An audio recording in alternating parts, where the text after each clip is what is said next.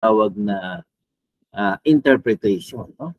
So, uh, doon nagkakatalo, ang uh, kaya lang siyempre, uh, kapag nakausap mo rin ang mga Muslim, mga kaibigan nating Muslim, ay alam nila kung paano aatakihin din eh. They know how to discredit uh, this King James, no?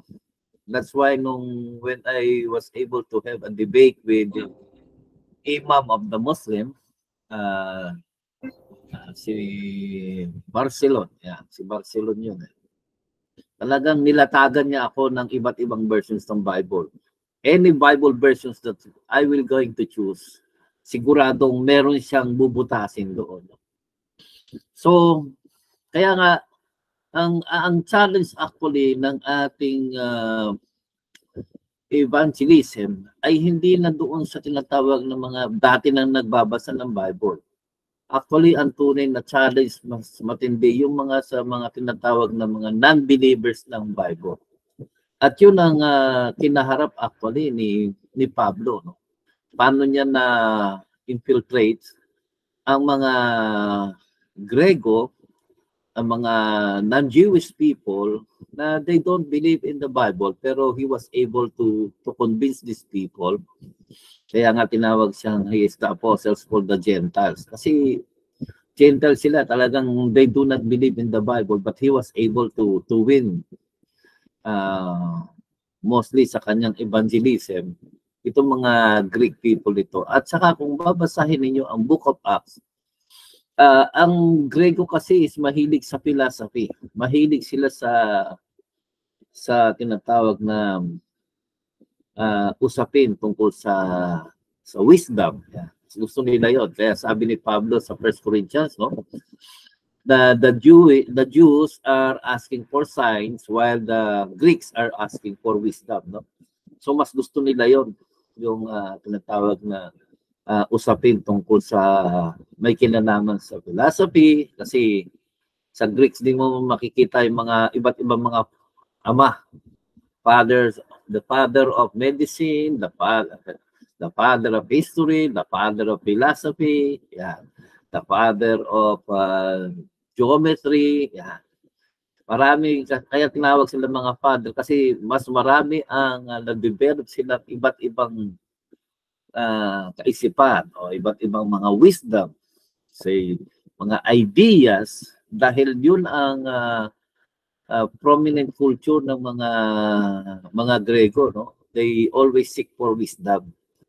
At kapag hindi mo narating yung kanilang mga kaisipan ay uh, mahihirapan mo silang kumbinsihin. At yun na nga ang uh, naging papel ni Pablo na pagka kaya pag binasa ninyo ang aklat ng ng Romans, yung mga especially sa mga sulat niya ay masasabi natin na talagang uh, masyadong philosophical ang kanyang ano, ang kanyang approach. Kaya uh, bihira ang uh, masyadong nagbabasa ng uh, mga sulat ni Pablo, no? Kung meron mang tayong ginagawang preaching sa mga sulat ni Pablo ay usually kadalasan hindi natin nakikita yung pinaka-context niya, no? Minsan pinuputol lang talaga. 'Yon. Kaya nga kaya nagkakaroon tuloy ng uh, ng mga critics ang Biblia dahil minsan hindi naman problema ng Bible kundi problema ng mga interpreters. Kaya they will going to begin to question, no? Uh, to question your doctrine dahil sa nakikita nila na parang there are seemingly contradictions sa Bible o kaya sasabihin nila na uh, hindi inspired ang Bible. So, nandun talaga ang challenge. At makikita natin na ang mga non-believers ng Bible, especially yung mga kaibigan natin, mga Muslims, they are, they are sabi nga nung ako'y nakikipag-debate pa nung araw sa kanila, there are 48 nations. Remember this, 48 nations na Muslim countries. So masyado silang marami. At yun ang dapat nating ma ma ano ma-address. We have to address this ano this uh, critics na ito tungkol sa Bible. Okay? So uh, kaya tayo ay uh, uh, napakahalaga sa atin na pag-aralan din natin what make them uh, critics sa ating Biblia and how are we going to to respond to these uh, issues that they are raising sa atin lahat. Okay? So, uh, I don't know if Pastor Romil na, na, na, na ano mo na ba, na ipasa mo na ba do sa mga more than five times na attendees dito sa ating lesson about the when critics ask na ipasa mo na sa kanila, no? Pastor Romil? I think uh, parang pa isa-isa ko parang naipasa. I-double check ko po. Oo, okay.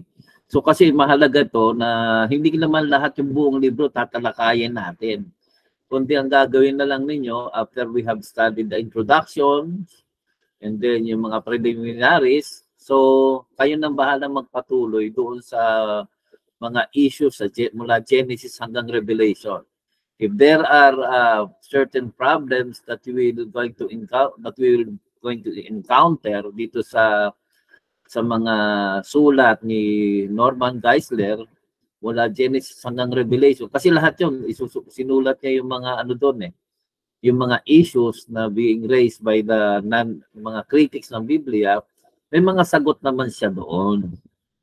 Okay so tingnan niyo yung kanyang mga sagot. Kung meron pa rin nakikita kayong butas or something that uh, needs to be expound uh, uh, in much more uh, detail or much more ano sabihin natin na uh, na that will add or shed light to the to your problems about interpretation. Okay just ano sabihan niyo lang sa akin no? Uh, para ma-address natin na maayos. Hindi ko naman kayo iiwan diyan sa area na yan no? At hindi lang yun no? Uh, marami naman tayo siguro mga leaders na pwede nyo ring matanong. Huwag kayo matakot kung uh, medyo iba ang tingin nila sa inyo. Pero talagang yung mga problems na ito, talaga realidad ito. Kasi kapag hindi ito na-address, ay paano mo ma masasagot din yung mga taong gusto mong maniwala sa kanila. Okay, Pastor Ramon, uh, are you raising your hand? What's your concern? Hello po, Prof. Ito pong libro ni uh, Geisler. Oh, ano okay. po, libro? Or may hard copy po ito? Uh, may hard copy siya. May hard copy ako dito. Uh, para kung gusto niyo magkaroon ng hard copy niyan, ay uh, okay din kasi ako kasi in, kahit may mga e-book niyan pero hindi ko pinapakawalan yung mga hard copies niyan kasi lagi kong ina-anticipate halimbawa nagkaroon ng gera nagkaroon ng malaking gulo sa buong mundo uh, siguradong una nilang papatayin dyan lahat ng mga internet. Kasi ang communication sa gera, ang communication talaga very vital yan, crucial yan. No? Kaya nga kumare, kontrolin nila ang communication. Yun, lalo na especially sa mga uh, information. Ano? So kapag nangyari yun, talagang naka-upper hand tayo dahil may mga hard copies tayong dala. At kahit saan mo dalhin niya, kahit may kuryente o labas, sa meron kang hard copies, meron ka talaga mapag-aaralan. Salamat po, Prof. Pwede pong makita, makita po sa chat yung complete name po niya. Ni ah, sandali. Spelling po. Salamat po, Prof. Okay.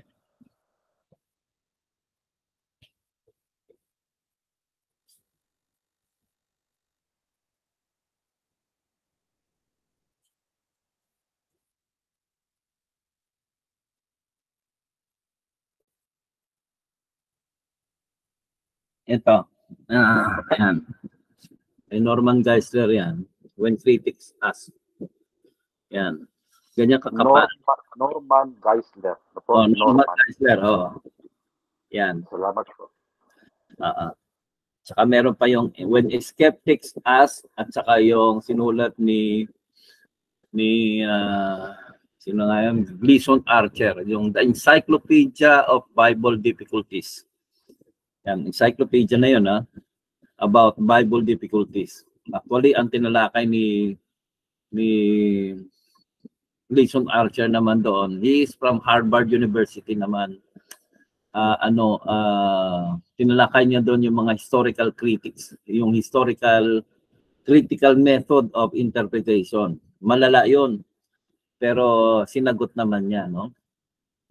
Ah, ito naman si Norman Geisler, he is also an apologist, no? Talagang nakikipag ah, apologist talaga siya, nakikipa, he is a defender.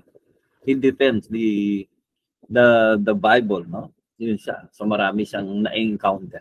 Okay? So kilala si Norman Geisler sa pagiging ah, ano ah, ah, apologist. At marami rin ako mga libro niya na nandito rin sa atin. Especially in dealing with the Bible. Magaling din siya pagdating sa tinatawag na Christian ethics. Ah, pag binasa niyo yung Christian ethics niya, maganda. Talagang ah, ah, katulad ng sa lahat ba ng oras ang pagsisinungaling ay mali. Ayan. Pero yung sabi nga niya eh, paano kung hinahabol ng mamamatay tao yung tatay mo? At nakita mong tumakbo yung tatay mo, hinahabol ng mamamatay tao at tinanong ka ng kriminal, nakita mo ba ang tatay mo? Anong sasabihin mo? Magsasabi ka ba ng totoo? Ituturo mo ba? Yan. Ma- maganda yun, no? Ah, Ramon? Na meron ka pang uh, gusto nakita po ako rito, Prof, na parang libro din nga na The Bible Answers to 100 of Life's Biggest Question. Parang narinig ko na yata po ito, no, po, Prof? Oo, The yan. Bible Answers to 100 Life's Biggest Question. Oh, meron din yan. Pero yung mga yun naman medyo mabababaw lang yon na, na encounter na, na yun. No? Pero okay rin yun. Sa mga preliminary, sa mga ano kahit pa paano, ah, actually, ang ini ang ginagawa ko kasi sa inyo ay gusto kasing maging mag-isip kayo kasi ng ah, you must have a you must possess a critical mind.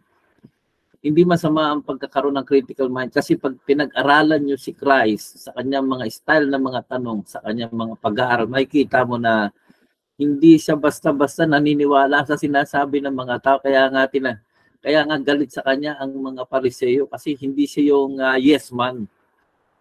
Talagang pag nagsalita si Christ, talagang ano, ah, kaya may libro din ako ng The Apologetics of Jesus Christ. Paano ba siya makipagtalo? Paano ba siya makipag-argue?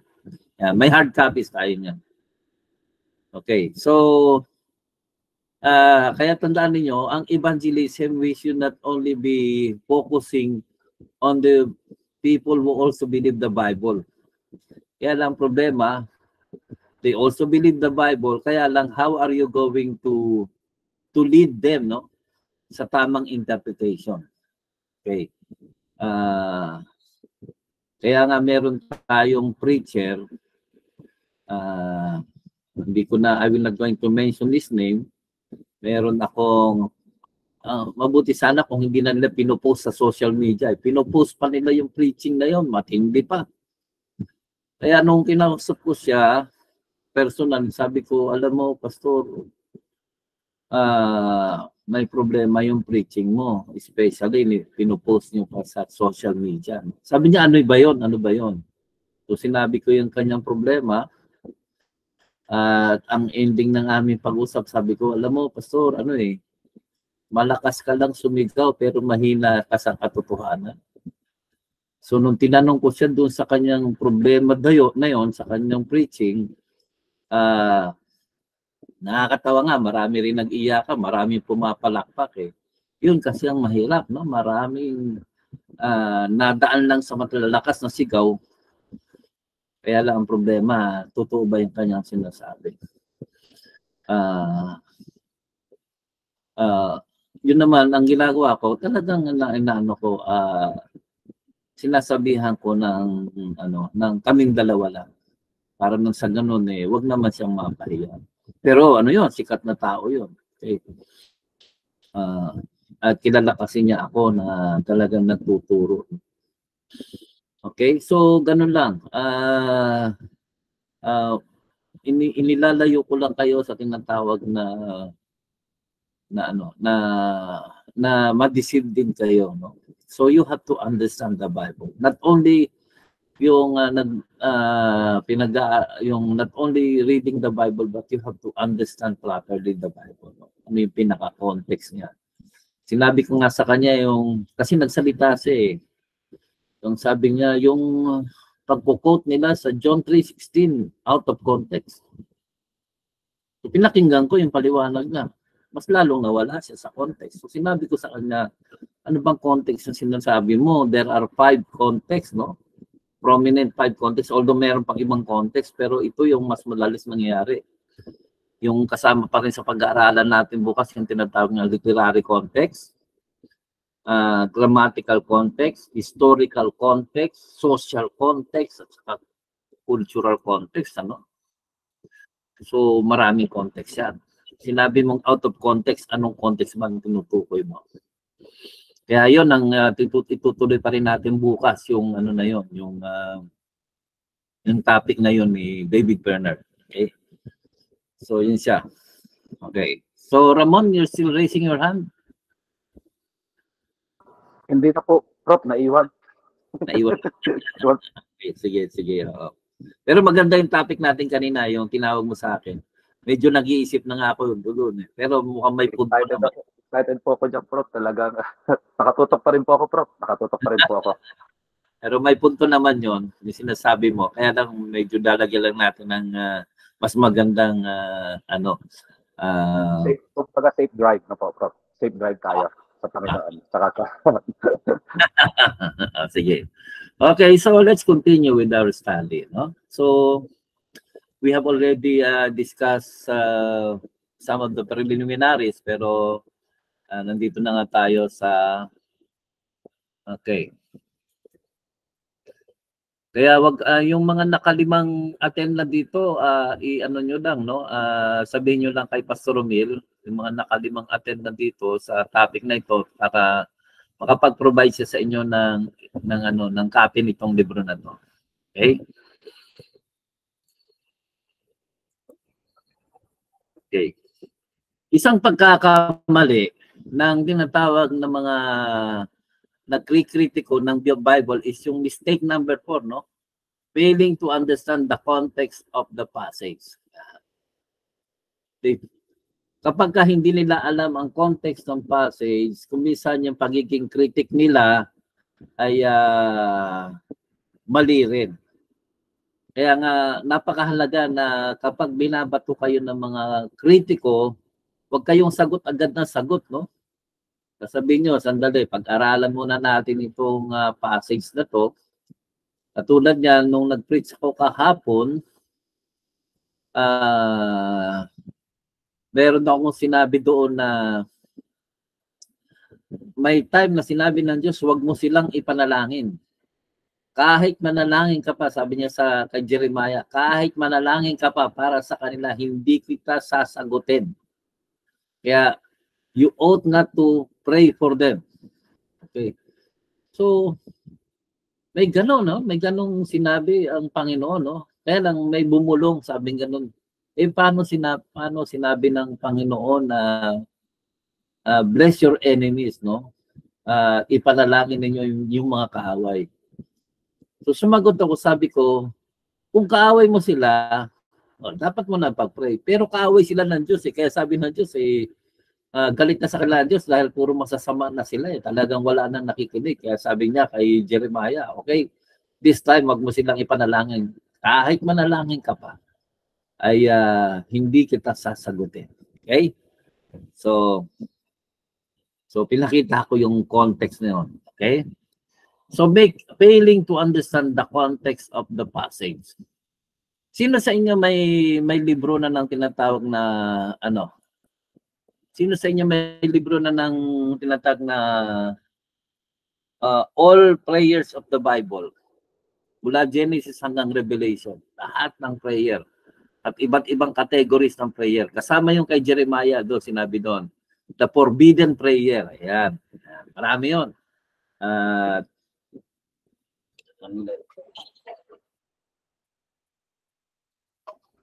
ito yung aklat na yun, no? All players of the Bible. Yan. So marami, yung sampu kong ganito naubos. Pati sila pa si Cesar kumuha nito. Prof, Eh, kasama po ba dyan yung ano, the dangerous prayers? oh, mar- kasi maraming categories ito eh. May nagturo po eh. Ang tinuro po niya sa amin, ayun, oh, the dangerous prayers. The Okay. dangerous prayers. Ang Book of Leviticus ang wala kahit isang prayer. Book of Yan. ah mayroong tinatawag na prayer as complaint, prayer ended with omnipotence, prayer as praise, prayer in peril, prayer of the needy, prayer for delay of deserved judgment, okay, first prayer of Moses for Israel, yan. Maraming categories ang uh, prayer. Prayer as benediction, prayer for preservation, prayer for removal of judgment, prayer of a discouraged heart, prayer of a meek man. So ang dami nito. Ah, lahat ng ah, prayer mula Genesis hanggang Revelation ano. So marami ito no, prayer for thanksgiving, prayer and fasting, prayer and confession. Yan. yung author po niya. Ha? Yung Si- author po niya. Herbert La Lakier. Robert Lackey. Ah, Thank you po. Ah, yan ang hanapin ninyo yan. Ah, meron din akong All Miracles of the Bible. Ubus din yon. Ah, kasi inihahanda ko ito para doon sa General Conference. Kaya kung ah, interested kayo, ah, magdadala ako ng mga libro sa General Conference natin. Okay. So, balikan natin to. Sabing ganon, uh, mistake failing to understand the context of the passage. Okay? So, sabi rito, perhaps the most common mistakes of critics is to take a text out of its proper context. As Adage goes, a text out of context is a pretext. Okay? So, kapag wala sa context, eh, ang preaching mo is pretext lang siya. Ah, wala kabuluhan, parang ganon. Parang ah, may masabi ka lang, no? One can prove anything from the Bible by this mistaken procedure. So the Bible says there is no God. Okay. Pero ano bang context noon? of the of course, the context that the fool has said in his heart, there is no God. So yun pala. So based sa social context yun, no? Pag sinabing social context, sino ba yung nagsasalita? Yan. Katulad yan sa sa Book of Job. Tandaan ninyo, no? May tat, may apat na nagsasalita doon. Ah, bali lima, si Job, si Satan, pang yung Diyos pala nagsalita rin doon, no? So tatlo. Tapos yung tatlong kaibigan niya. May Job. Okay. Ah, may mga sinasabi rin sila, may dialogue talaga sila. Pati pang pito si Mrs. Job, no? So, pati si Elihu, yan, pangwalo pala. Elihu, yung ah, huling nagsalita na hindi kaibigan ni Job. Pero ah, mabigat yung kanyang binitawan hanggang sa bandang huli ng salita ang Diyos. Ano? So, huwag kayong basta-basta nagkukut. Titingnan nyo rin, sino ba yung nagsasalita? Okay. Eh, yung iba, kaya nadadaya sila kasi hindi nila pinapansin kung sino yung nagsalita, yung social context niya, kundi basta nabasa lang sa Bible.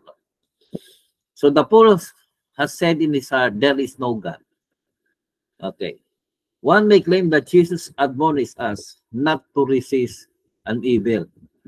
Mukhang pinapayuhan daw tayo. Huwag niyong uh, do not resist the devil, no? the evil and evil. But the anti-retaliatory context in which he cast this state must not be ignored. Ano ba yung dapat ignored? Likewise, many fail to understand the context of Jesus' statement to give to him who asks you, as though one had an obligation to give a gun to a small child, no? Who asked, nagtano, nag, uh, humingi ng or nuclear weapons to Saddam Hussein just because he asked. So, depende kung anong hinihingi rin. Kaya ganun din, no? Hindi porke nagdasal ka, eh, ibibigay sa ng Diyos.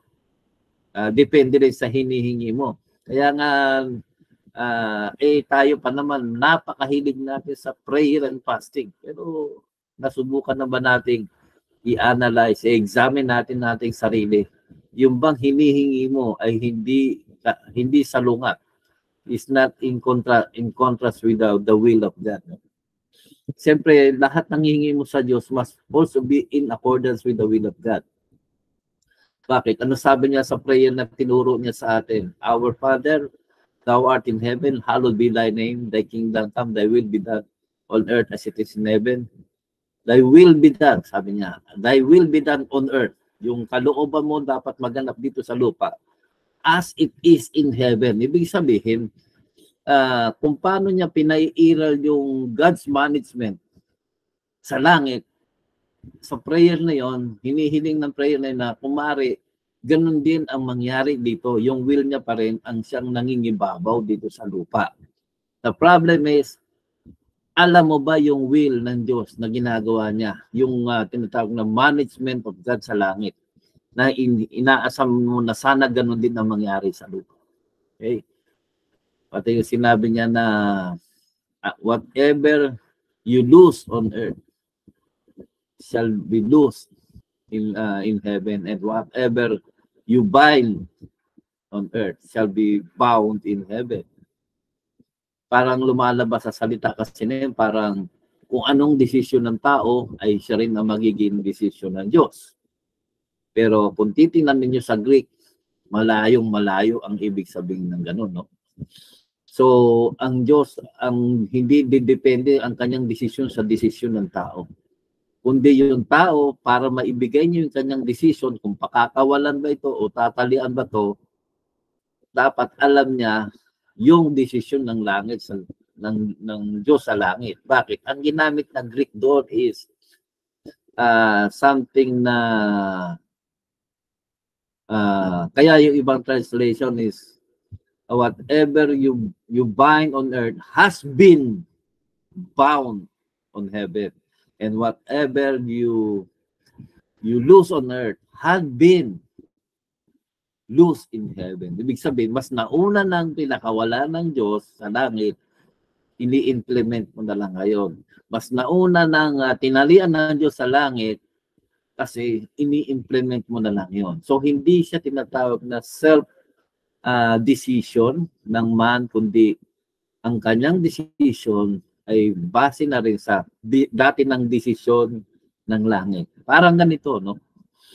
Uh, may mga kuminsan nagtatalo ang mga abogado pati hukom dito sa lower court.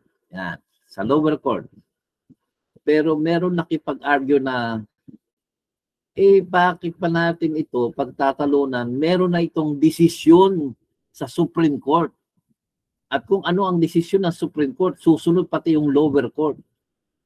Yun ang nangyayari kadalasan. Kaya nga pagka ang desisyon ng Supreme Court ang na, uh, kapag uh, nag-decide na ang Supreme Court okay the highest court dito sa Philippines is uh, susunod lahat ng pati yung mga lower court. Kaya pag naging basis mo is uh, it had already been ano decided by the Supreme Court tiklop lahat ng mga hukuman dito sa lower court. Maliban na lang na meron silang nakitang buta sa sinabi ng Supreme Court ngayon, kung meron kang kaso dito sa lower court at wala pang desisyon ng uh, Supreme Court, pwede mo nang pagtalunan yan. Pagkatapos, pwede mag-decide ang korte. Ngayon, kung hindi ka satisfied sa, sa decision ng korte, that's the time na i-elevate mo yung kaso sa Court of Appeals. Sa Court of Appeals, there are five judges, no? At magbobotohan din sila kung babalik ka rin ba yung uh, desisyon doon sa lower court.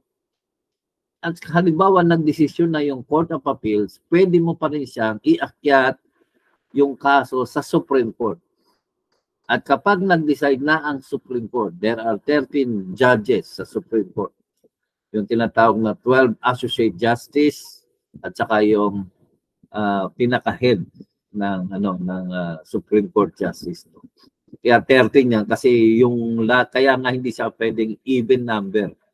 Dapat odd number siya para yung isa lagi nandun yung disi, yung tinatawag na deciding point. Ganun din sa Court of Appeals, no? Lima yan. Hindi pwede maging even number kasi hindi pwede magtabla. Ganun din sa Supreme Court, hindi rin pwede magtabla. Pero sa lower court ay uh, Isa lang yan. So kapag ka sinabit mo ngayon sa sa Supreme Court yan at nag nag-decide na ang ah, Supreme Court ay wala ka nang tatakbuhan pa. Nagiging final and executory ang sinasabi ng Supreme Court. Okay? So, ganun siya. Kaya hindi pa pwedeng sinasabi ng iba na, abay, may nakalagay dito. Sino magpakawalan ng ating organization dito sa lupa ay ah, wala na. Wala na siyang kaligtasan sa langit kasi nag-decide na tayo dito eh.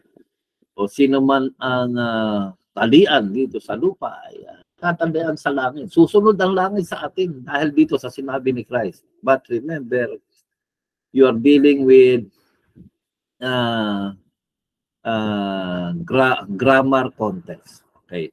Yung context ng grammar, grammatical context. Okay? So mahalaga yan, no? Kaya nga ako, ah, sana dumating ang araw na okay, um, sa general conference, kung darating kayo doon, magdadala pa rin ako doon ng Greek language, at saka kung may dala kayo mga USB, ay ah, i-ano nyo sa akin para malagyan ko ng mga lessons doon na panonoorin nyo na lang. Kaya kahit hindi tayo magkita o magkaroon tayo ng face-to-face na pag-aaral, ay ah, yung sa yung sa USB ninyo mapapanood na ninyo. Basta wag nyo lang ikakalat. Okay? Great. So, failure to note that the, me- the meaning is determined by context is perhaps the chief sin of those who find fault with the Bible. Okay? Kasi tandaan nyo lagi ang ah, meaning ng isang salita is 99% is uh, determined by the context. To find fault with the Bible as comments on numerous passages in this book will illustrate. Okay? Mistake number five. Yeah. Neglecting to interpret different passages in the light of clear ones. Okay. So, kapag ka hindi natin ginamit may mga ano kasi, may mga passages kasi na mahirap unawain. Pero kung titingnan ninyo yung mga parallel passages, ayan, na may mga mas ah, mas magbibigay ng liwanag ay ah, napakahalaga noon. Kasi kapag ka nilimit mo lang ang iyong passage sa isang ah, book lang na yon, may mga book kasi doon din sa Bible, let's say, nagbabasa ka ng four gospel writers. Minsan, bitin yung sinasabi ng Mark. Para mas maliwanag ang sinasabi dito sa Mark, ah meron din siya, meron din siyang tinatawag na other ah, synoptic gospel na pwedeng nagsasabi rin tungkol doon. So, titingnan ninyo sa Matthew, titingnan ninyo sa sa John or sa tinatawag na ibang mga parallel passages na kaya mahalaga yon no na Ah, sana kung meron din kayong the treasury of the Bible. Sinabing the treasury of the Bible, yung inyong Bible kasi na yan, may mga, ano yun eh, may mga nakalagay sa mga baba. Hindi naman siya footnote, pero parang ah, pwede ninyong idugtong yung mga talata na yun, no? Na pwedeng nagbibigay linaw doon sa mga sa talatang binabasa. Yan. Pero mas maganda yung the treasury of the Bible. Kasi mula Genesis din hanggang Revelation, halos lahat ng sinasalita doon, pinapakita nila ng pwede mong idugtong dito sa talatang to o pwede magbigay, magbigay linaw dito sa talatang itong medyo may problema ka. Okay? So some passages of scriptures are hard to understand. Sometimes the difficulty is due to their obscurity. No? Malabo talaga. Masyadong obscure. Kaya hindi mo maintindihan. At other times, the difficulty is because passages appear to be teaching something to con- contrary to what some other parts of scriptures is clearly teaching. For example, James appears to be saying salvation is by works. James chapter 2. Whereas Paul thought clearly that it was by grace. So ano yun? By works ba o by grace talaga? In this case, James should not be construed. Huwag nating i- ibigay agad ng conclusion dito kay James na so as to contradict Paul, no? Paul is speaking about justification before God, which is by faith alone, whereas James is referring to justification before men. Ayan. So yung sinasabi dito ni Pablo sa Romans is yung tinatawag dito na ah, yung salvation by grace ay sa Panginoon, sa mata ng Panginoon yun. Pero yung tinatawag na salvation by works is para doon sa mga tao. Sabi niya ito sa mga tao. Siyempre, para sinabi niya na, okay, hindi naman pwedeng patay ang inyong pananampalataya. Hindi dapat makita rin sa gawa. Another example is found in Philippians chapter 2 verse 12 where Paul says, work out your salvation with fear and trembling. Ito, madalas nating nak- naririnig ito sa ating mga pastors. Okay. On the surface, this appears to be saying salvation is by works. Kasi work out your own salvation eh, with fear and trembling. Eh. Parang ikaw nga mag-work out. However, this is flatly contradicted by a host of scriptures which clearly affirm that we are saved by grace through faith, and that not of ourselves, it is a gift of God, not of works, lest anyone should boast.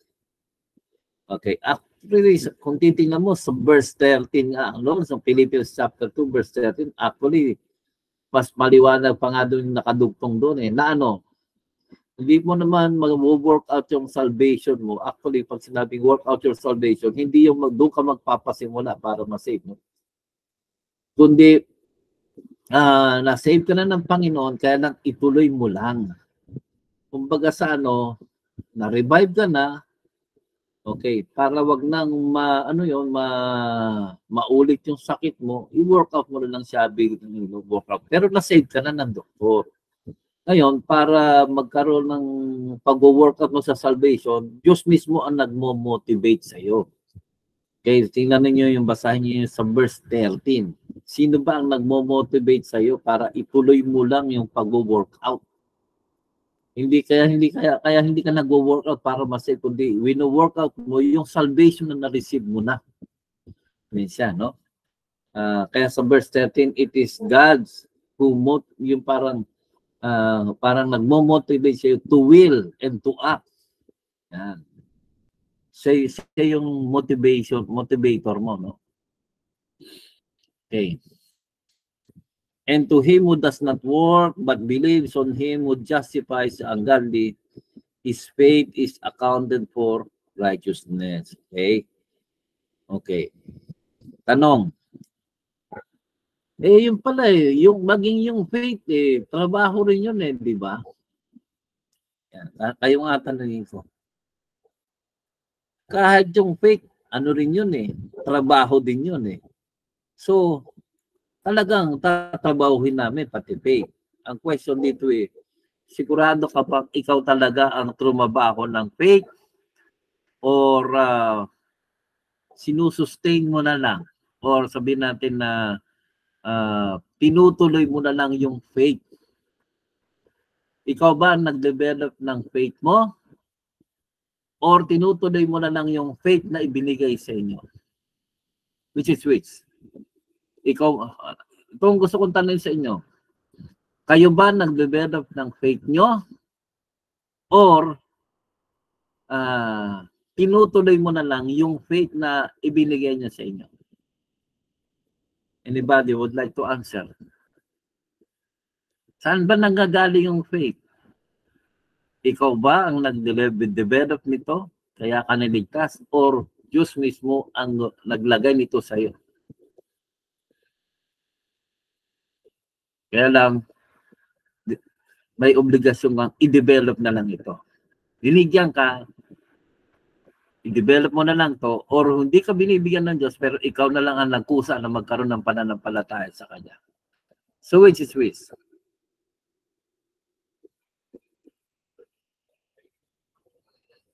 May gusto bang sumagot?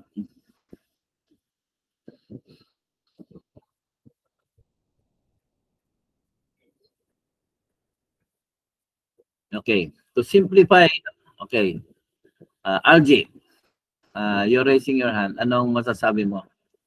Um, base po sa akin po, yung faith po is nagmula po sa Panginoon sa binigay niya pong pananampalataya po sa akin sa pamamagitan po ng pakikinig po ng kanyang salita na kinuunti-kunti ko pong dinidevelop sa pagpapatuloy ko pong pag-aaral po ng salita po ng Diyos.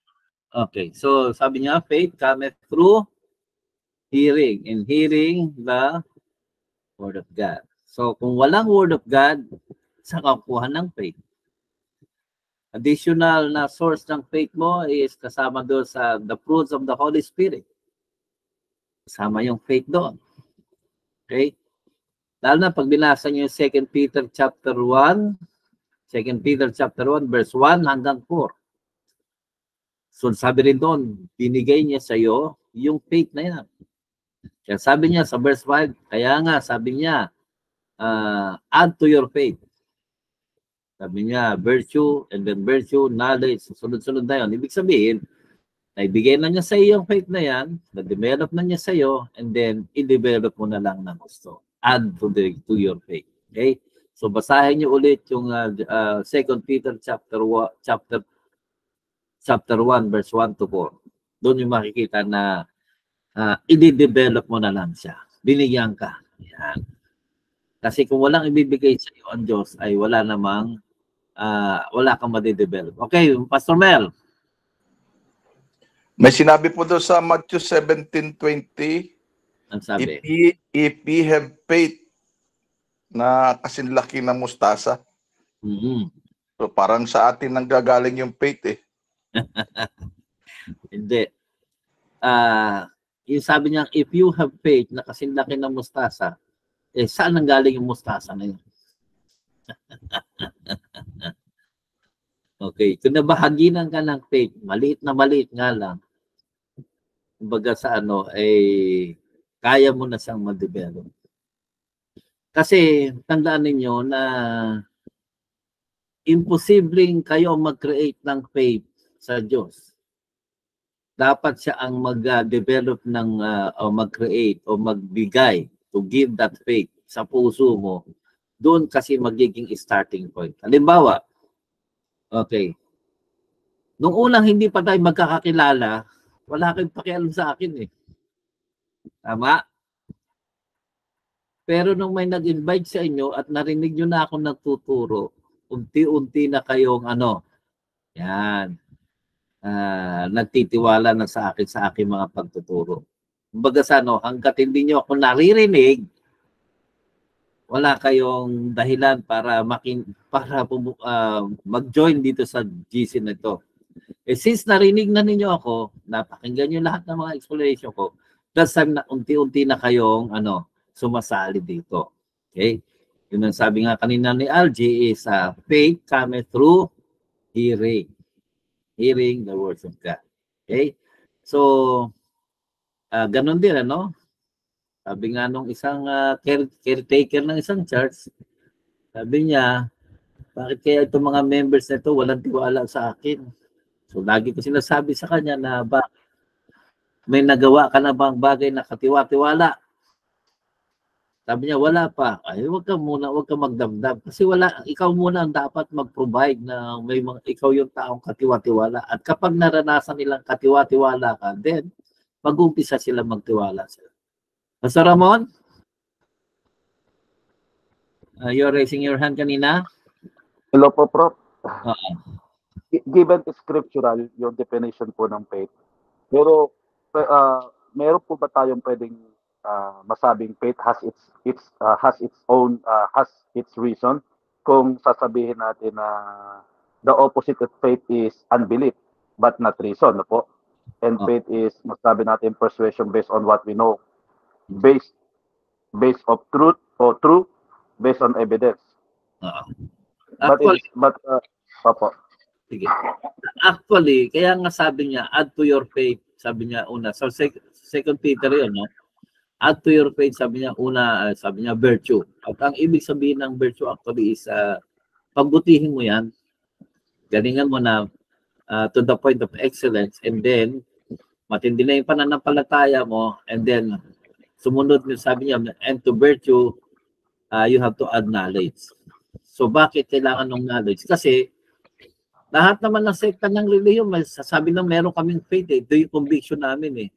Pero kapag pumasok na yung tinatawag na knowledge, doon na nagkakaalaman kung ito bang uh, pananampalataya mo ay tama or mali. Doon mo lang na, na-judge kung tama ba ito. So, kaya nga sabi nga, uh, sabi nga na ni Anselm ng Canterbury, sabi niya, uh, uh, ano ba ang dapat mauna? Faith or reason? Parang ganito na sinasabi. Kaya ako nananampalataya sa iyo kasi ito yung reason ko. Yan. O kaya naman, Yan, Kaya- yan po yung naano ko po, Prof. Tama po. Yes, yes. kaya ako nananampalataya kasi ito yung reason ko. Yan. O kaya naman, ah kasi lamang lumal una muna yung reason, kaya nagkaroon siya ng faith.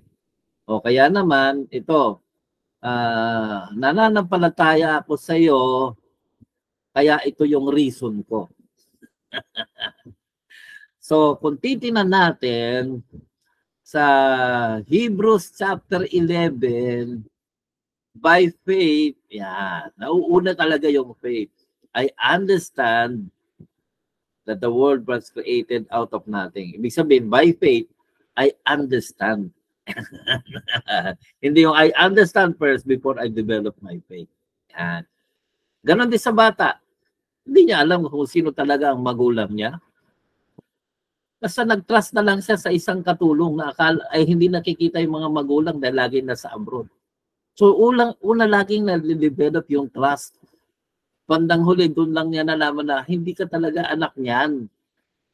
Ang tatay mo nasa abroad. Yan, okay? So ah, lahat ng bata nag-uumpisa lagi sa trust. Ganon din tayo.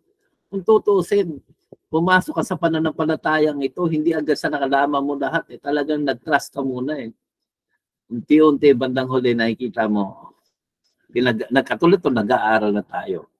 So sabi nga mas laging nauna yung yung faith.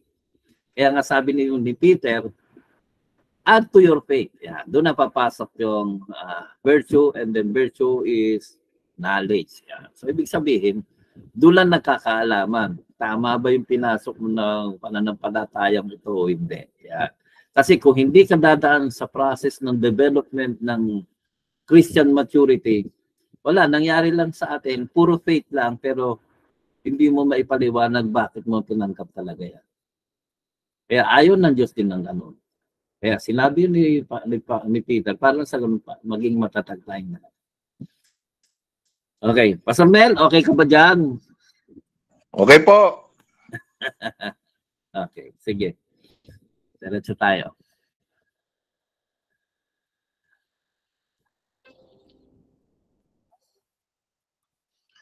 Okay. Also, it is not by works of righteousness which we have done, but according to His mercy, He saved us. Okay? So, actually, lahat tayo bagsak eh, sa mata ng Diyos. Kaya lang tayo naligtas, kasi kahit anong gawin nating tama, hindi nakakabura ng kasalanan nyo. Tandaan ninyo ha, in, kahit anong gawin mong tama, hindi nakakabura ng dati mong kasalanan yun. Ang talagang magbubura ng dati mong kasalanan, yung sakripisyo ni Christ. At kapag uh, pinaniwalaan mo yung sakripisyo ni Christ na sa buhay mo, that's the time na ah, sabi nga eh, forgiven. Yan. Burado na lahat yun. Okay? So, sabi nga ay ah, hindi mo maalis ang kasalanan sa pamagitan ng paggawa ng mabuti. Kasi nandyan na yan eh. Para kang ganito, ah, maraming nakakulong sa, sa kulungan. Ah, hindi na pwedeng isu- isumbat sa sa mga tao na ah, dapat wala hindi na ako dapat nilalabas na ako sa kulungan kasi dito nagsisimba na ako dito eh kasi gumagawa na ako ng mabuti dito kasi marami na akong mga achievements dito. Sabihin sa iyo ng judge, okay, wala namang problema, gumawa ka, nakakatulong lang 'yan para sa pag-release sa iyo.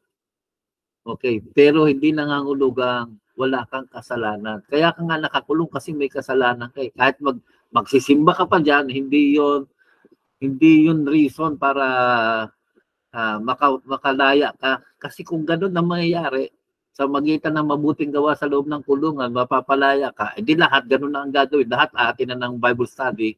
Lahat ah, magsisimba na. Lahat ay ah, gagawa ng mabuti. Kung yun ang basis ng pagkaalis nila sa kulungan. Tandaan natin, kung sila may napalaya, it's either natapos na nila yung sentensya nila. Okay. Meron naman, kaya naman napalaya dahil sa because of pardon na tinatawag. Nagkaroon ng pardon. Yan. At sino nagbibigay ng pardon? Ang presidente ng Pilipinas. Okay? So, may nagtaas ba ng kamay?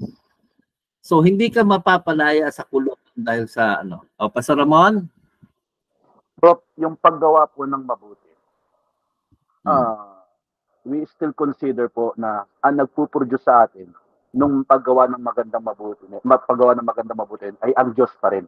Yes. Kasi we yes. cannot, we cannot produce, Good ah, work. kasi kung gagawin natin our own good works, Mm-mm. ah, ibig sabihin, parang we didn't rely, we didn't depend on God. But Yes. yung genuine, ge- genuine na hinihingi na ah, dapat natin gawin, eh, magmumula pa rin sa Panginoon, na Yes. mag-work pa rin sa buhay natin.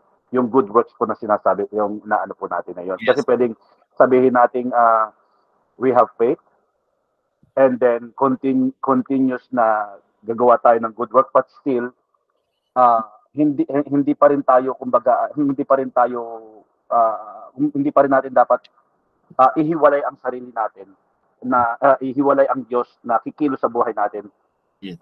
Na kung ano yung ipoproduce ng Diyos sa atin, yun dapat ang gagawin natin. Ganun po ba yun? Prof? Yes. Tal- Talaga naman tama. Parang ganito. Ah, kahit nasa loob ka ng kaulungan, pero may umiiral pa ring batas.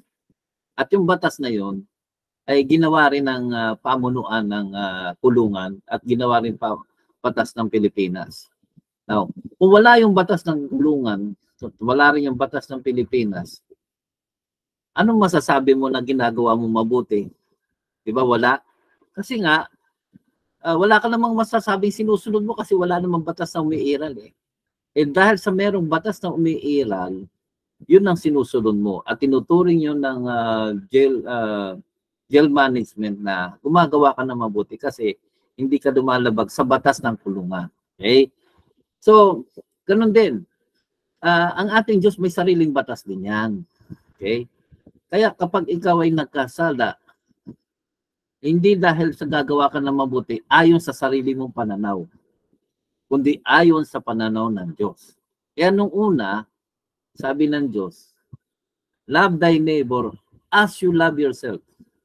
Ibigin mo ang iyong kapwa tulad ng pag-ibig mo sa sarili mo. Ang problema, lahat ba tayo pare-pareho ng pag-ibig sa sarili natin? Yung pag-ibig ko ba sa sarili ko is the same as pag-ibig mo sa sarili mo? Magkakaiba tayo, di ba? Nakuha mo pa sa Ramon? Iba yung pag Opo, prof. Opo. mahal mo sa sarili mo. Majority, majority, mga self-love. Self-love. Yun, kasi yun din ang, pin, ang sabi ng Diyos, kung paano mo minamahal ang sarili mo, ganun mo rin mamahalin ang iyong kapwa. Kasi wala pang Kristong lumabas para mag-set ng example. Now, kaya sabi niya doon sa John chapter uh, 13 yata. Yes, John chapter 13. Sabi niya, a new commandment, bagong utos yung sasabihin ko sa inyo. Love one another as I have loved you. Bakit? Nakita na ninyo example. So hindi tayo pwede maging arbitrary sa ating pagmamahal sa kapwa.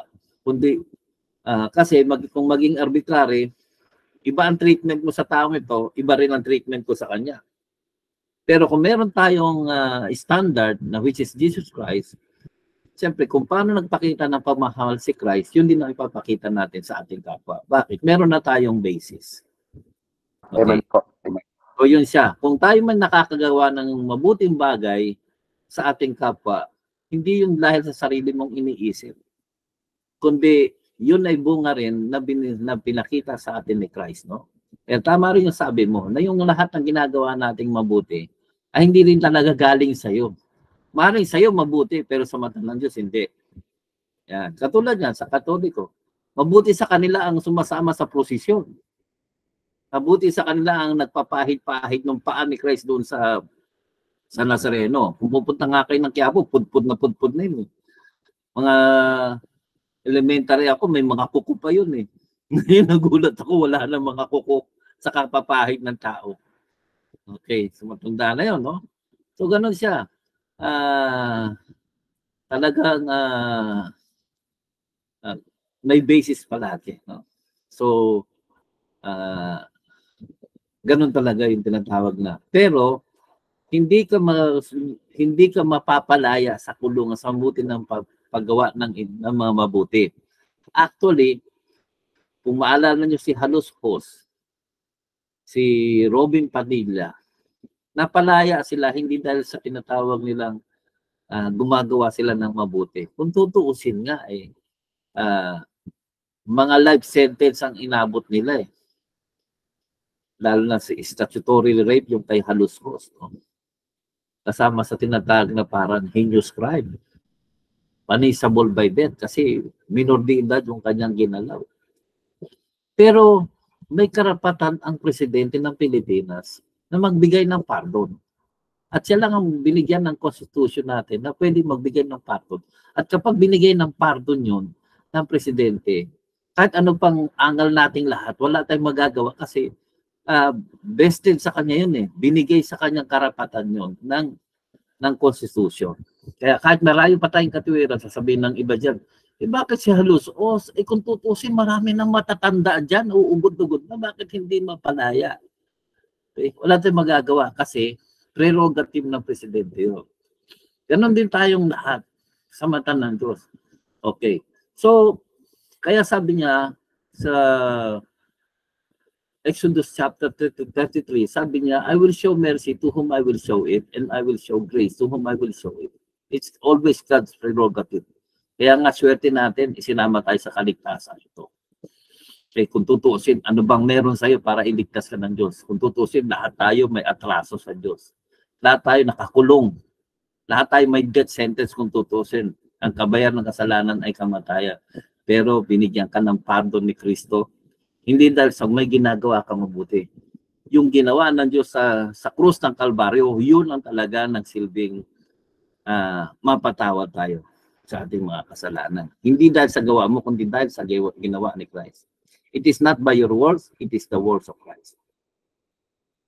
Okay. So, kaya sabi niya sa Ephesians chapter 2, kaya para wa- walang may pagmamalaki kahit sino. Kahit anong gawin mong kabutihan kung walang namatay na Kristo doon sa krus, walang bali, wala lahat. Yan. Kasi yun ang gustong mangyari ng Panginoon. Kaya nga sabi nga noon is, again, going back to the topic is uh, neglecting to interpret difficult passages in the light of the clear ones. Okay?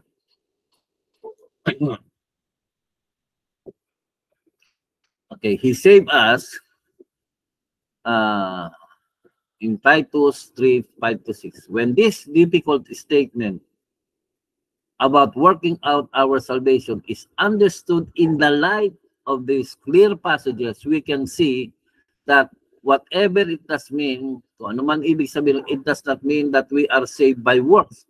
In fact, what it means is found in the very next verse. Nandun nga, sabi nga kanina sa iyo, basahin ninyo yung susunod na verse, verse 13. Ano sabi doon? We are to work salvation out because God's grace has worked in it, it in our hearts. In Paul's words, for it is God who works in you, both to will and to do to do for His good pleasure. So, Diyos din na tumatrabaho sa puso natin para mag gumawa tayo ng mabuti. Okay, so tama sabi ni ano kanina, ni Ramon, ah, hindi rin tayo makakagawa ng mabuti kung wala, kung hindi rin galing lahat sa Diyos. Okay? Kung, kung tutusin, sabi nga eh, kung wala yung kindness of God, walang repentance na mangyayari. Ano sabi? For the kindness of God or the goodness of God leads us to what? Repentance. So, nauuna palagi yung kindness of God sa buhay natin. Bago tayo unti-unting magsisi. Mistake number six, basing a teaching on an obscure passage. Ito, matindi rin to. Minsan yung ating teaching ay binabase natin do sa obscure na passage, no? Some passages in the Bible are difficult because their meaning are obscure. Ah, basta nag-quote lang sa Bible pero yung meaning niya obscure, no? This is usually because a keyword in in the text is used only once, especially sabi nga no, yung keyword na ginamit doon ay ah, isang beses lang ginamit. Ang tawag doon is hapax legomenon. Pag sinabing, hap, sinabing hapax legomenon, hindi mo na makita itong word sa ibang mga talata. Doon lang talaga. So, paano mo unawain? Kanina, yung binasa natin, eh, kaya ka nagkakamali kasi kinakailangan kasi na maintindihan mo yung passage na ito, yung malabong passage na ito, base doon sa mga mas maliliwanag na passage. Ang problema, itong passage na ito, wala nang ibang tinatal, wala nang tumalakay, kundi yun lang passage na yun. Okay? So, kung tutusin, ano, yung issue sa speaking in tongues sa Pentecost Day, doon lang na ikwento yun eh. Kaya hindi lahat ng Christian religion naniniwala na dapat magkaroon pa rin ng uh, speaking in tongues ngayon. Bakit? Doon lang kasi nangyari yun eh. Wala nang iba yung ah, yung ah, event ng Pentecost no? Now doon din sa buhok. Doon lang sa 1 Corinthians chapter 11 no? Pero walang ibang masyadong naggumamit ng mga salita lalo na yung salitang uh, kumao ba yun sa Greek? Okay. so yung mga tinatawag na hapax legomenon isang beses lang ginamit. Kaya kapag ganon, medyo obscure yung word, yung ginamit ng talata na yon, sabi nga nun, nagkakamali tayo kapag ginamit agad natin yun sa mga argumento. Lalo na yung ah, sa King James, for there are three that give bears record in heaven, the Father, the Word, and the Holy Ghost, and these three are one. Yun lang ang talata na yun na masyadong obscure na sinasabi ni David Bernard sa 1 John 5.7. Yun lang ang talata na yun. Wala nang iba. Isang beses nang ginamit yun at wala nang ibang paliwanag sa iba't ibang mga passages na magbibigay uh, clear uh, uh, clear light doon sa passage na yun. so, kaya yung mga Trinitaries dati ginagamit yun. Yung 1 John 5.7 ng King James Version. No? For there are three that bears record in heaven, the Father, the Word, and the Holy Ghost, and these three are one.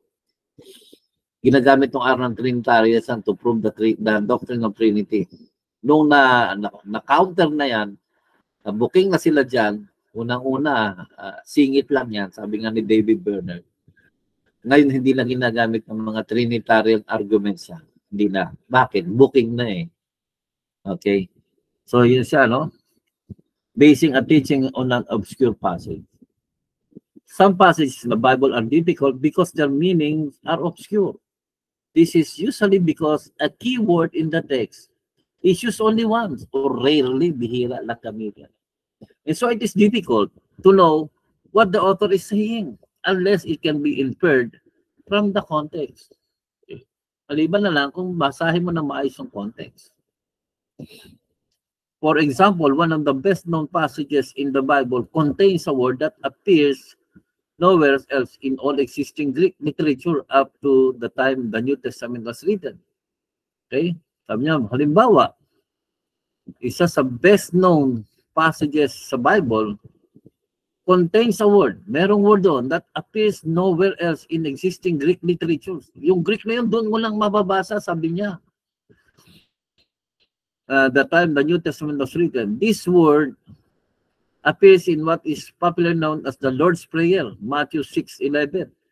It is usually translated as, Give us this day our daily bread. Eh wala na ibang passage, yun lang talaga. The word in question is the one translated. Yan. Daily. Yan. Kasi parang give us this day our daily bread, no? Parang kung titinan natin, kayo, tanongin kayo, give us this day our daily bread. Anong anong dating nun sa'yo?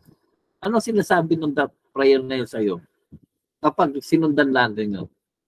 Give us this day our daily bread. Anong dating nun sa inyo? Pagkalooban mo po kami ng makakanin sa araw-araw. Parang ganun po yung dating. May kulang.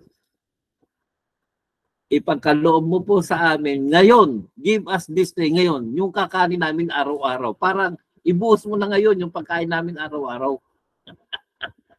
give us this day our daily bread. So halimbawa, isang buwan kang kakain, ngayon mo na po ibigay, this day, ibigay mo na ngayon yung pang isang buwan namin. Ah, nakuha niyo, nakuha niyo, ibig sabihin. Opo, Prof. Eh, sabi ni saya sabi ng aklat ito, mukhang may problema. Na yun, hindi sasabihin natin na bigyan mo kami ng kakanin namin sa araw-araw, pero may salitang this day eh. Give us this day our daily bread. Instead na, give us our daily bread. Pwede yun. But give us this day our daily bread. Yun ang naging problema doon. Okay. Sabi niya dito, it usually translated, give us this day our daily bread. The word in question is the one translated daily or epiouson, epi, epiousion. Experts in Greek still have not come to any agreement. Pati mga expert, hindi talaga nagkakaroon ng agreement on its origin or on its precise meaning different commentators try to establish links with Greek words that are well known, and many suggestions have been proposed as the resulting meaning.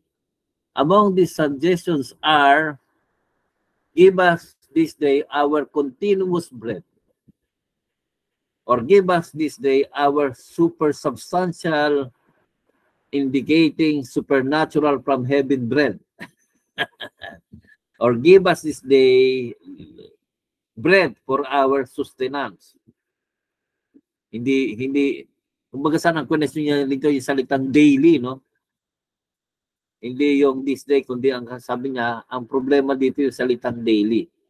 Ano ba ibig sabihin ng epiousion? Kaya sabi nga noon, yung maraming mga scholars dito, hindi sila talaga magkaroon ng agreement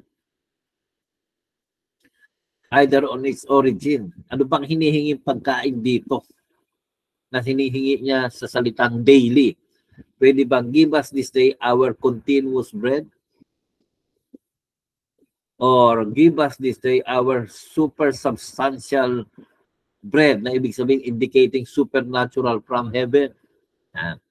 Or give us this day bread for our sustenance. So hindi ginagamit yung salitang daily ibigay mo sa amin sa araw na ito yung aming pagkain na makakapag-sustain sa amin. Yan. Para manatili kami buhay. Or give us this day our daily or what we need for today. Okay. Bread. Each one of these proposals has its defenders. Siyempre, ang problema kasi hindi porke nag-aral ka ng Greek, ibig sabihin, magkakasundo kayo sa meaning. yan ang problema yan. Kung hindi nga sila magkasundo sa, ori- sa original language, sa Greek, eh mas lalo na tayo na hindi nag-aaral ng Greek. Sila-sila nga nag-aaral ng Greek, hindi pa rin magkasundo, sabi nga. So, each one of these proposal has its defenders. Okay. Meron yata ang gusto magtanong. Okay? Ramon. What's your Ah, parang nakakakita lang po ako ng insight, Prof. Kasi yung masasabi natin, humihingi tayo sa ating Panginoon. Okay. But in in the in tinatawag natin in uh, in the comfort zone ng mga mananampalataya.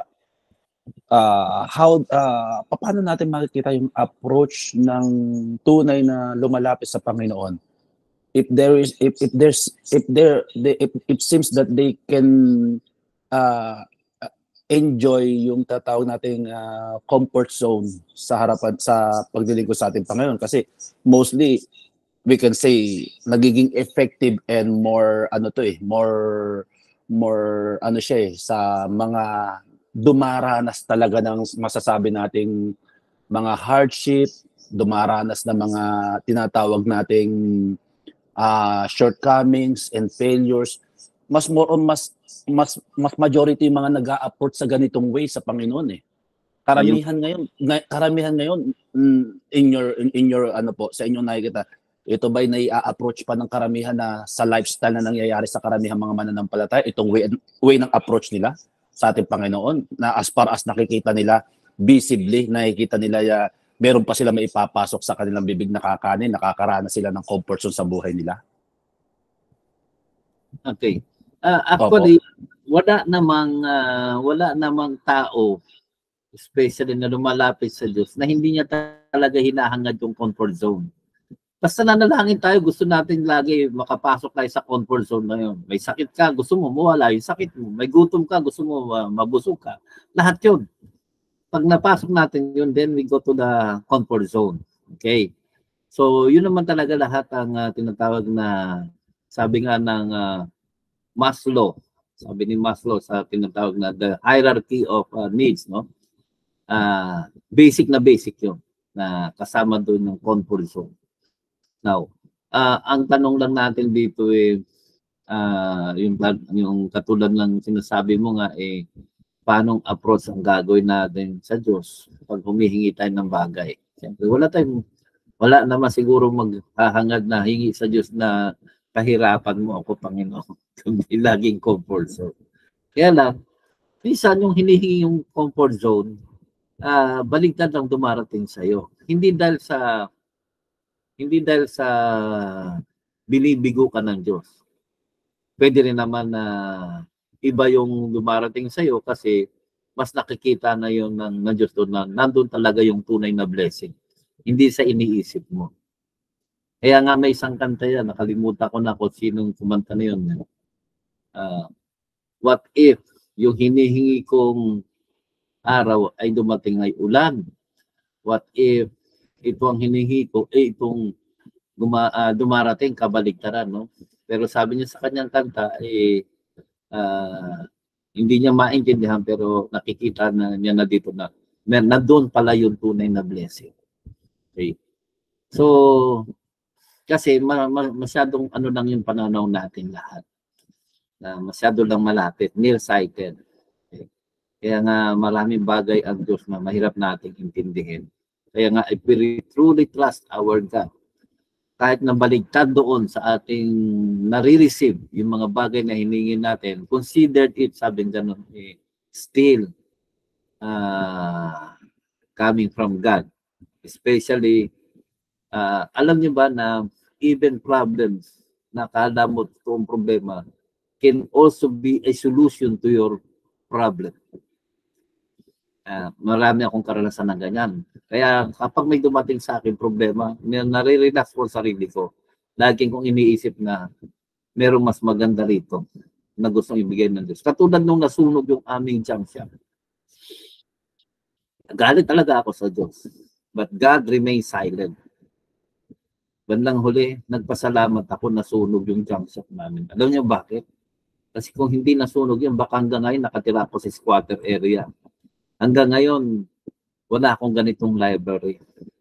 Parang uh, inalis niya ako doon kasi meron siyang pagdadalan sa akin. Kung hindi niya kasi ako susunugin doon, eh nakita ko na parang uh, stay for good na ako doon. For good na yung pag-stay ko doon. Okay? So, bandang huli, nagpapasalamat na ako sa Diyos. Ganyan po yung nangyari sa akin, Prof. Nagpapasalamat po ako doon sa magnanakaw.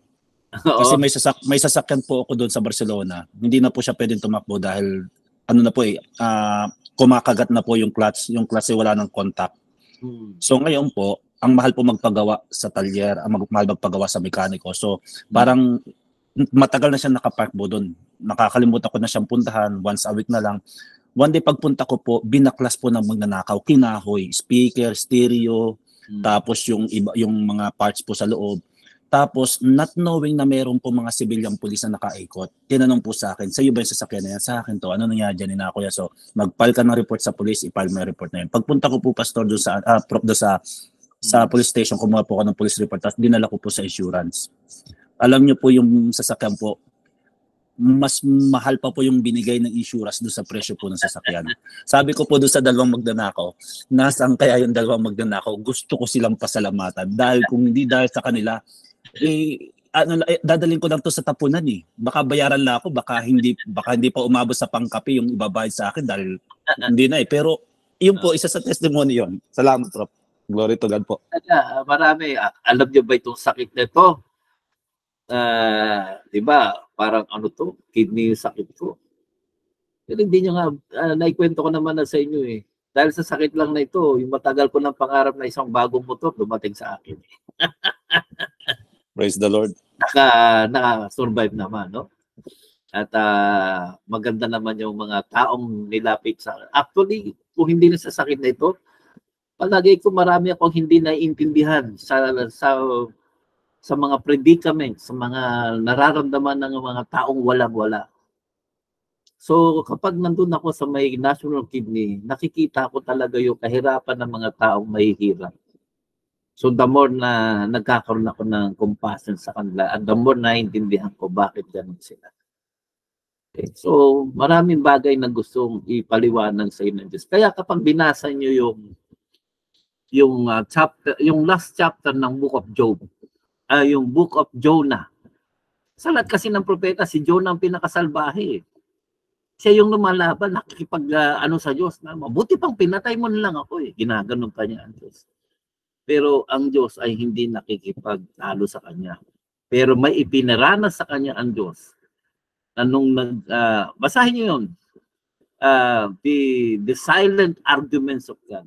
Ang ganda noon para makita ninyo na may pinaranas sa kanya ang Diyos, doon lang niya nakita na ano, na kaya pala ang ganun ang desisyon ng Diyos. Sa kanyang parang, napahiya kasi sa, sa kanyang preaching doon sa Nineveh. Sabi niya, 40 days from now, wasak kayo. Tapos hindi winasak ng Diyos. Di parang pahiya siya. Parang tayong ano, may mga prophecy tayo, pagkasas hindi nangyari, eh, hindi mo alam, nag-ayuno pala yung mga Prof, hindi po ba pwedeng makita rin yung insight doon? Kasi nung basahin ko yun, parang nakaramdam lang ako ng konti po. Parang iniinis ng konti ni Lord si si Jonah doon sa story. May ginawa po siya kay Jonah eh. Parang yung ininis, no? Actually, hindi siya ininis. Instead na um, nakipag-argue siya ng uh, verbal, may pinaranas muna sa kanya and then after that experience, doon pinakita ng Diyos. um, Ito, sabi niya. Ito ha, sabi niya. Nung namatay yung kanyang uh, sinasandalan na puno na nagbigay sa kanya ng dili, sabi niya, nang hinayang ka sa puno, isang gabi mo lang nakasama, namatay. Palagay mo, hindi ako manghihinayang dito sa Nineveh na ito. Simula't simula pa, nandyan ako at binantayan ko na yan. Okay, ano pa sabi niya? Nanghihinayang ka sa isang puno na ito. Palagay mo, hindi ako manghihinayang sa mga more than 100,000 mga tao nandito nakatira na hindi nila alam kung anong tama at mali. Na- nakita niyo yung kanyang arguments dito parang may pinaranas muna siya at hinintay niya magreklamo si si Jonah. Sa pagreklamo yun, doon niya sinagot kung bakit hindi niya pwedeng basta-basta patayin ang mga taga Nineveh. ang ganda noon. At habang nakaupo din sa may puno na yon, ang kanya mata sa nakatingin. Sa Nineveh pa rin. Si Jonah nakatingin pa rin sa Nineveh. Sabi ko, ganun talaga tayo. Pag meron tayong ina, ah, gustong mapahamak o gustong ma, masira, kahit malayo na tayo, lagi tayo nakikiramdam sa kanila. Lagi ang mata natin naka, nakatutok sa kanila. Pagkatas, oy, alam mo yung kaaway mo, ah, namatay na yun eh. Kunwari pa tayo na, ay ganun ba, kawawa naman, pero sa puso mo, tuwan-tuwa ka. Mabuti nga sa kanya. Basahin niyo ulit yung ah, arguments doon ng Diyos. Actually, parang apat yung arguments doon. para, para po may mayroon siyang ano eh, merong nakatabing na dahon eh. Ginagalaw ginagalaw-galaw po yun. Parang na, na-observe ko na po. Tapos tumatama yung sikat ng araw sa mukha ni ni Jonah. Tapos, Yung, na- yung, na- y- naka. Opo, yung parang may expressional po akong parang nakita ro na parang medyo nayayamot-yamot na po si si Jonah habang nangyayari yung conversation po nila ng ating Panginoon. May naiinitan yung mukha niya, tapos nagtataklob nga po siya nung ano eh, yung parang dahon doon. kasi inuod yun eh. Inuod yun eh, yung ano na yun, yung yung puno na yon. Kaya namatay siya, natuyot. Bigla siya nagreklamo ngayon sa Diyos. Yan. Sa pagreklamo niya na yun, that's the time na ito na yung sagot ko. Isa lang yung namatay, pero gusto mong mamatay yung mahigit isang daang libo na tao na hindi alam yung mabuti at masama. Tapos, sabi niya, ah, no, isang gabi mo lang nakasama. Paano ito kaya ang Ninive na ito? Ah, ah, matagal na yan silang bansa nila. Basta may mga apat na arguments doon na binase ng Diyos ang kanyang arguments doon sa karanasan niya doon sa puno niya. Doon sa mga sa mga last uh, mga five verses yun ng uh, ng, Jonah chapter 4. Okay. So, pero bakit niya kaya ginamit na wala akong ibang sign na ibibigay sa inyo kundi yung the sign of Jonah? Kung tutuusin, sa analysis, yun ang ibinigay niyang sign dito sa mga mga scribe at pariseo. Bakit hindi niya ginamit yung sign mula kay, kay Jeremiah, kay Isaiah? Bakit si Jonah?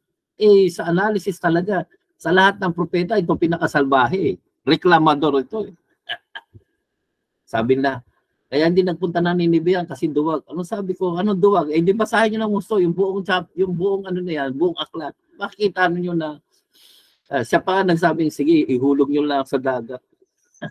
kasi ako may kasalanan eh.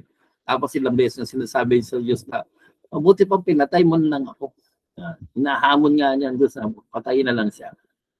Okay. So hindi siya takot mamatay. Kasi mas mabuti bang mamatay siya sa sobrang kahihiyan. Nabigo siya sa kanyang mga huda. Okay. So yun sa, i-review mo na ulit yung Pastor Ramon. Yung tinatag na the silent arguments of God. In-experience sa muna and then bago ko siya nagpaliwanag kay ano kay Thank you uh, Plap. Jonah. Okay?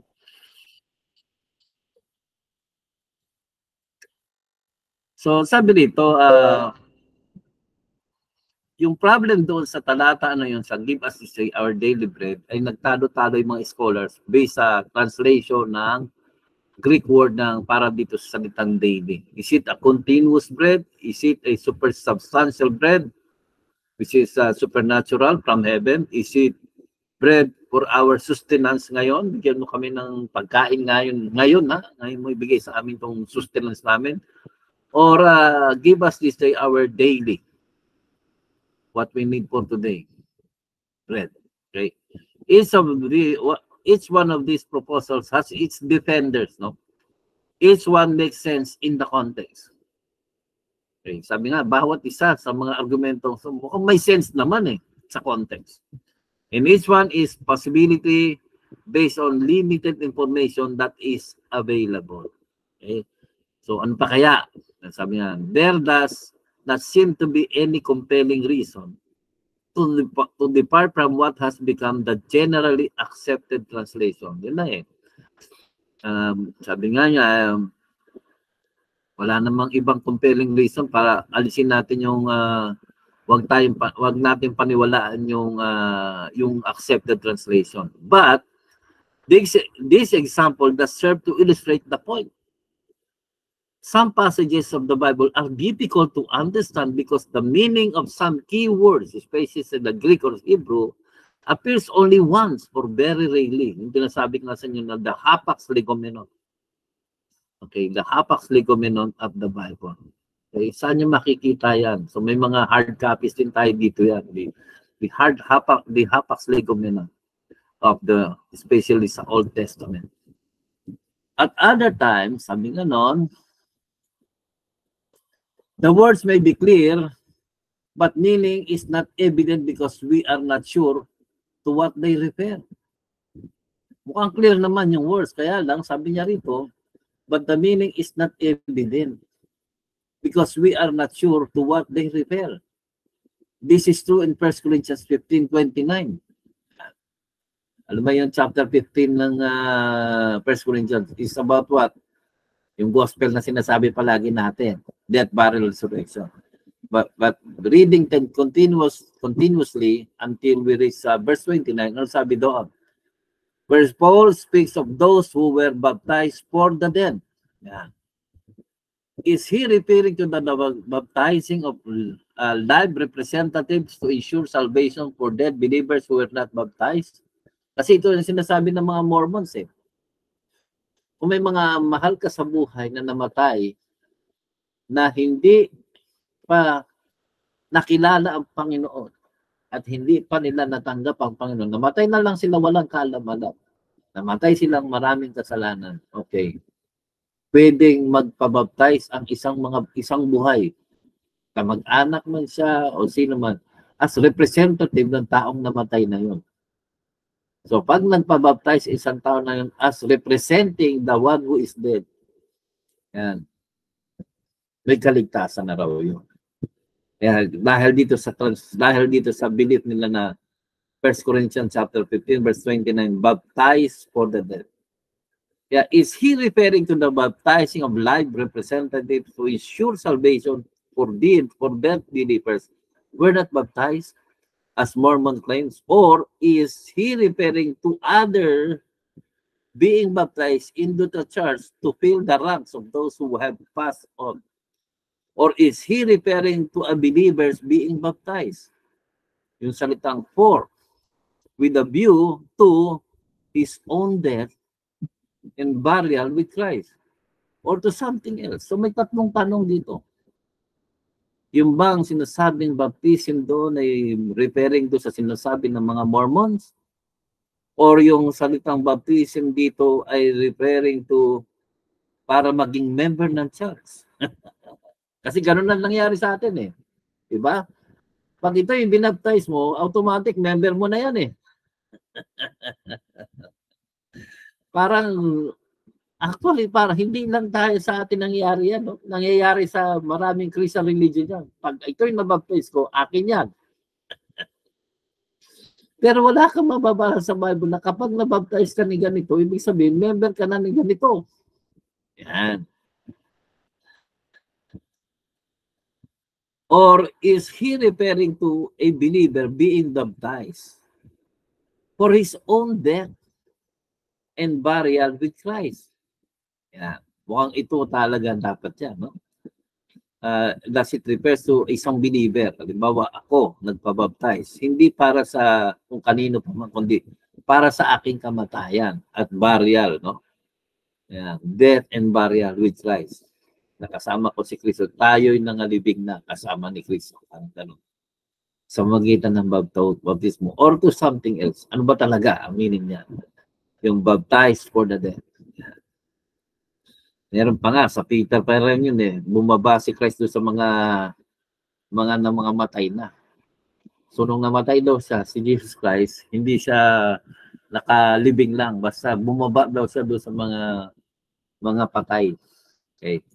So, mahirap unawain din yan. No? Uh, mga issue yan eh. When we are not sure, kung hindi tayo sigurado, then several things should be kept in mind. Diyan na lang po, nasa isip mo yan. Huwag ka munang, huwag munang ilabas yan at gawin mong doktrina. Obscure pa yan eh. Katulad ng Mormons, nag-base sila sa kanilang doktrina base doon sa isang talata lang ngayon. Hindi naman ang payo ni David Bernard, hindi pwedeng mag-base tayo ng ating isang uh, tala, isang sa isang talata lang to formulate our own doctrine. Dapat it must be supported by many uh, supporting verse that will uh, strengthen our belief. Okay. So when we are not sure, then several things should be kept in mind.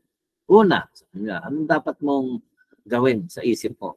We should not build a doctrine on the obscure passage. Yan. Huwag kang magbibuild ng isang doctrine verse based sa magulong passage.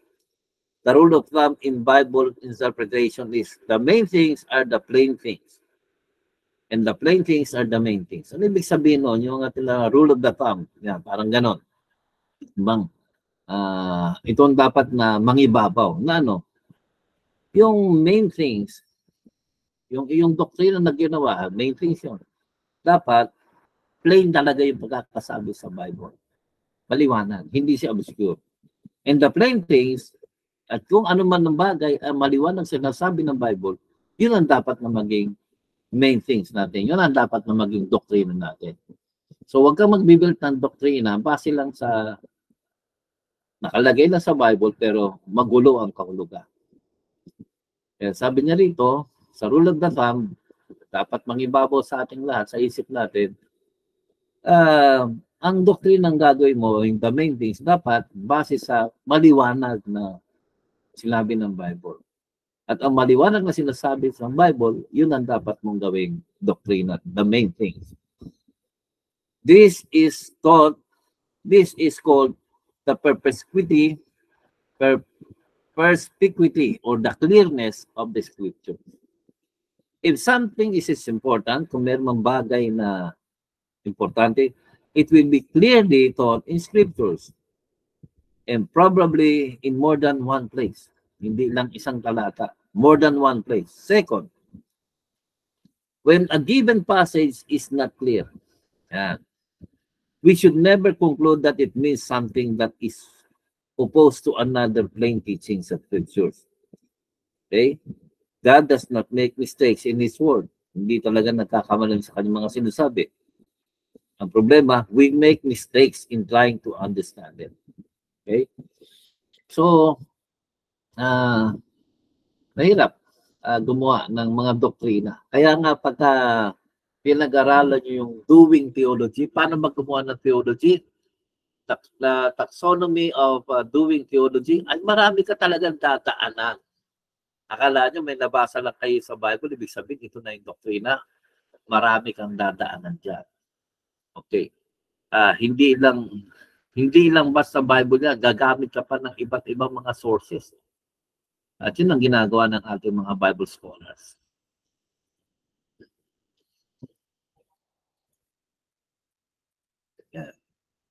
Mistake number seven. Forgetting that the Bible is a human book with human characteristics.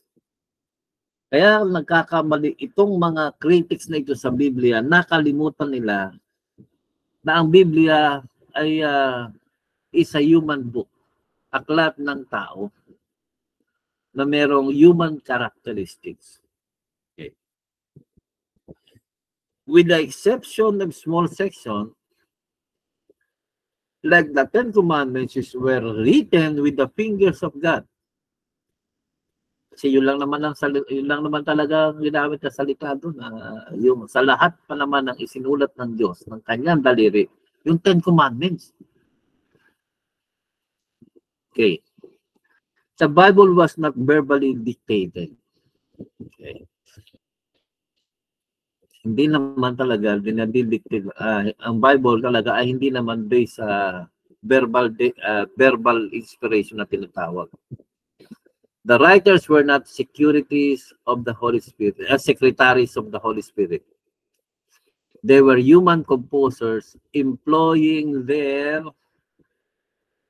uh, own literary styles and idiosyncrasies. Ano ibig sabihin noon? Kasi may naniniwala na ah, ang Bible ay sinulat by dictation, no? Na ah, parang kung ano yung nakalagay dyan, yung kasi ang dinictate ng Holy Spirit. Okay. Maging si David Bernard, hindi rin naniniwala na by dictation. Kundi, kaya may sinasabing human characteristic. Kasi kung anong ipinahayag sa kanila ng Holy Spirit, bahala na yung taong in-inspire niya kung paano niya ito express sa sarili niyang pamamaraan. Parang ganito, ah, di ba, katulad nito, ah, nagtuturo ako ngayon. Hindi naman lahat yan naka, ano, naka, ah, masasaulo ninyo. Verbally, lahat ng sinasabi ko. Hindi nyo masasaulo yan. Ang makakasaulo lang yan, yung may records tayo ng YouTube. Pero let's say wala yung YouTube. Ah, papasok na doon yung sinasabing sarili ninyong pagkaunawa sa ating pinag-uusapan. Maring yung iba rito ay mabanggit ninyo na sinabi ko, pero tinatawag doon na verbatim o yung word for word na sinabi ko, hindi na ninyo kaya yon. So mangyayari na lang doon ay kung paano ninyo naintindihan at kung paano ninyo ito maipapahayag sa mga tao based sa iyong ah, human ah, ah, human characteristics, human capabilities. Okay. Doon mo siya sasalitain. Hindi siya dahil sa dinidiktahan ko kayo. Kundi kayo ay siyang nakikinig, inuunawa, and then kung anong pagkaunawa ninyo, yun ang lalabas sa inyong mga kwento kahit kanino. Ang problema, yung iba hindi sanay magtagalog, nabibisaya nila. Yan. Minsan, yung mga deliveries, may problema. Okay? Pero ganun pa man, ah, sabi nga, ah, dahil ito naman na inspired by the Holy Spirit, pwedeng naipahayag ninyo sa iba't ibang paraan, pero yung pinaka-core niya, yung pinaka-diwa niya ay hindi nagbabago. Bakit? Kasi this is a ah, cooperative work ng human being as a writer with the human characteristics at the same time the divine guidance ng Holy Spirit. Okay? So kaya inspired din siya kahit na ito'y sinulat ng mga ah, tao. Okay? Based sa kanilang capabilities kung paano sila mag-express ng kanilang ideas which is not also contrary to idea of God. There were human composers employing their uh, own literary styles and idiosyncrasies. The human authors sometimes use human sources for their materials, katulad ng Joshua 10.13, Acts 17.28, uh, 1 Corinthians 15.33, Titus 1.12. In fact, every book of the Bible is the composition of human writer. About 40 of them in all. The Bible also manifests different human literary styles. So hindi sila pare-pareho ng ah, pag-express ng kanilang sarili, ng kanilang idea. Parang ganito, um, ako, pag nag-preach ako, hindi niyo ako masyadong marinig nagsasalitang praise the Lord, hallelujah. At sinabi ng Panginoon, hallelujah. Hindi ako ganon. Iba ako mag-express ng ano. Although gumagamit ako ng salitang hallelujah, pero hindi yung ah, halos mas marami pa yung salitang praise the Lord, hallelujah, kaysa doon pinaka, pinaka-message mo. Pero yun ang kultura natin eh. Yun ang kultura ng maramihan natin kasama. Kaya nga hindi ninyo maialis na talaga ang expression niya. Pero hindi naman ibig sabihin mali siya. Kundi yun ang style niya ng pag-express ng Word of God sa mga tao. Ganun din ako. Bihira ako magsalita ng hallelujah, praise God. Okay. Pero ah hin- gamat bihira pero hindi yun kasi ang aking style. Okay? So kanya-kanya tayong style, kanya tayo kanya tayong delivery.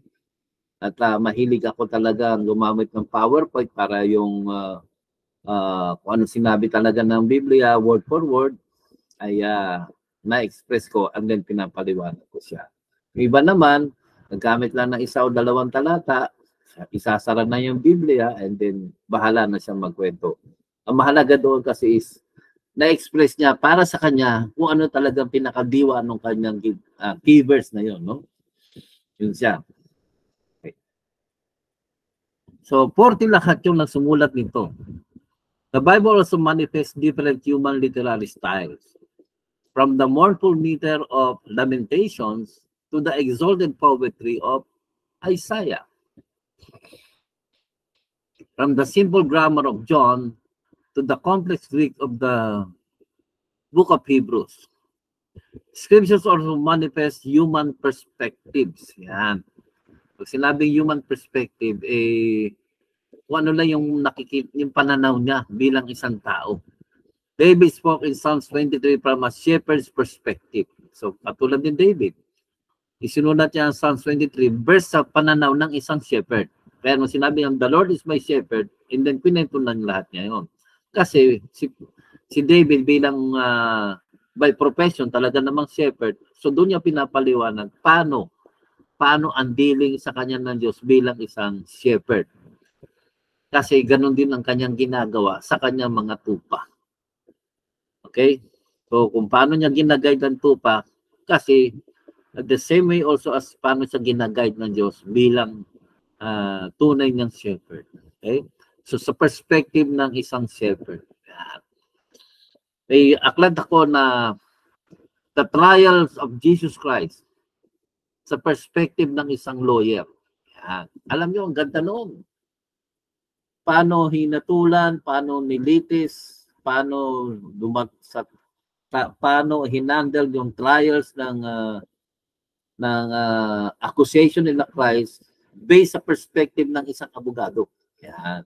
So bin- binasa ko yung kanyang sulat na yun ay talagang ah, maraming ang maraming ang ginawang ano ah, tinatawag na anomalies o maraming ginawang mga mali paglabag sa sistema ng isang abogado yung trials na hinarap nila kay Christ. Yan. Katulad ng pag-present ng mga ano, ng mga testigo. Okay. Hanggang so, nung uh, nagkaroon ng examination, cross-examination, nakita nila na maraming ang testigo pero hindi sila nagko-collaborate. Okay? So walang ah, hindi sila nagkakaisa na pinagsasabi. Tapos ginawa ang trial sa madaling araw. La, ginawa nila yun na walang masyadong mga tao. Kasi kaya ayaw nilang hulihin noon si Christ dahil takot sila sa mga tao. Kaya ang plano nila, hulihin nila si Christ sa, sa lugar na walang masyadong tao. At para magawa din yung trial sa yun, ginawa nila sa gabi na walang office hours. Hindi office hours yun. okay, so makapabasin natin sa perspective ng isang abogado. Eh paano naman pag-aaralan yung the trials of Jesus Christ sa perspective ng isang ordinary na UPC, sa perspective ng isang Hudyo, sa perspective ng isang ah, sa pananaw ng isang ah, hindi nag-aaral ng Bible. Tandaan natin, may laba, lalabas sa iba't ibang perspective yan. Okay? So, kaya sabi niya dito, David spoke in Psalm 23 from the shepherd's perspective. Kings is written from a prophetic vantage point. Okay. So, sino sumulat ng Book of Kings? Okay. So, ang sumulat daw nito ay hindi naman, eh, ang sumulat daw nito, sabi nga ng posibleng si Samuel. Yan. Na sa perspective ng isang propeta, paano niya sinulat ang Book of Kings. Okay? And Chronicles from priestly point of view. Sabi nga ganon, sino ba talaga sumulat ng Chronicles? Sabi nga ganon, it was written by by the priest uh, priest uh, uh, uh, sabihin na natin may katungkulan sa bilang isang priest. Sa priestly point of view. Halimbawa, katulad yan, um, paano nyo ikikwento itong mga pag-aaral natin na ito sa pananaw ng isang Pentecostal? At kapag ka may nakarinig naman ng ibang ah, sekta ng reliyon, paano nila uunawain at ikikwento itong aking mga pinagsasabi sa pananaw ng isang sabadista halimbawa. Okay? So, depende yan sa bawat pananaw. So, yung the Book of Acts manifest an historical interest. Katulad kasi ni ah, ni Lucas, historian kasi siya, no? Doktor pa. And second Timothy, a pastor's heart. Uh, writer speaks from the observer's standpoint. When they write of the sun rising or setting, yan, nga, ah, yun ang pananaw nila nung araw. Wala naman silang tinatag na kinakailangan magkaroon ng pag-aaral science. Kundi na pananaw nila, bulubulubog ang araw, sumisikat ang araw. was not written, okay, for the sake of science. The Bible was written for the sake of salvation. Tandaan ninyo ha? For the sake of salvation. The writing and the, the uh, writer speaks of from an observer's standpoint when they write of the sun is rising or setting. They also reveal human thought patterns, including memory lapses. Yan. Minsan, hindi naman buong-buo yung pagkakakot nila sa Old Testament. Yan. Okay, may mga memory lapses din. as well as human emotions, Galatians 4.14. The Bible discloses uh, a specific human interest. For example, Hosea possess a rural interest. Okay. So, may mga, kaya nga iba't ibang klaseng author ang kinuha ng Diyos sa Bible.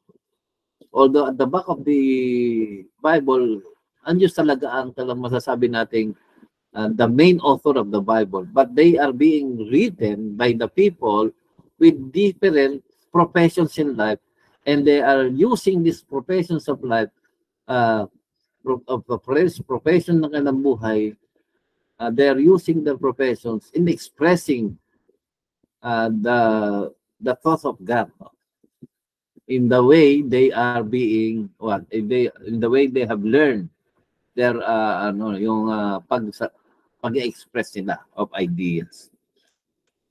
Okay. Alam niyo ba pag binasa ninyo si David Bernard yung kanyang mga sulat, especially the Book of Acts, ay yung kanyang aklat tungkol sa Romans, sa oneness of God, sa sa tinatawag na uh, new birth. Sa palagay niyo, pag binabasa niyo yun, ano nakikita niyo pamamaraan ng pagsusulat ni David Bernard ng kanyang aklat na ito? Sa perspective ng isang ano, Alam niyo ba kung paano magpahayag si David Bernard ng kanyang ng kanyang uh, libro na ito? Sa perspective ng isang ano? Romel? Yes, para based sa isang lawyer perspective. Kasi by profession abogado siya eh. So alam na ang mag ano, magbalangkas mag uh, mag-build ng case para ma-prove niya yung one God, oneness of God alam niya kung paano mag-build ng case para may patunayan niya yung tungkol sa necessity ng new birth.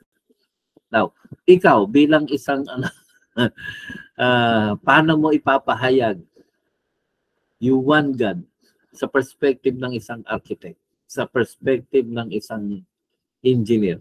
Palagay ko, uh, gagamit ko Pastor Romil ng mga bagay na uh, mga bagay na may makaka-relate sa iyo. Okay. So, ganun din. Uh, iba rin mag-present ang isang theologian. Is, iba rin mag-present ang isang... Alam niyo si Pablo, let's go back to... Uh, let's go back to ano to Paul sa kanyang gospel dito sa 1 Corinthians chapter 15. If you're going to study the way uh, Paul uh, built his case about the gospel dito sa sa 1 Corinthians chapter 15, anong perspective ang ginamit niya para ma-build niya yung case regarding sa gospel? Anong perspective? Okay. Oh, Mel, us, ano ba ang tamang kahulugan? Okay. Ayun na nga, pinasa natin kanina, Mel, na uh, merong iba't ibang mga scholarly understanding sa give us this day our daily bread. So, hindi nga sila magkasundo, bagamat alam nila yung tinatawag na uh, Greek word na yon. Ang problema, yung Greek word nun, isang beses lang ginamit sa sa buong Biblia. Isang beses lang ginamit yun. So, nagkakagulo sila, ano bang ibig sabihin talaga nito? is should it be translated as daily? Yan.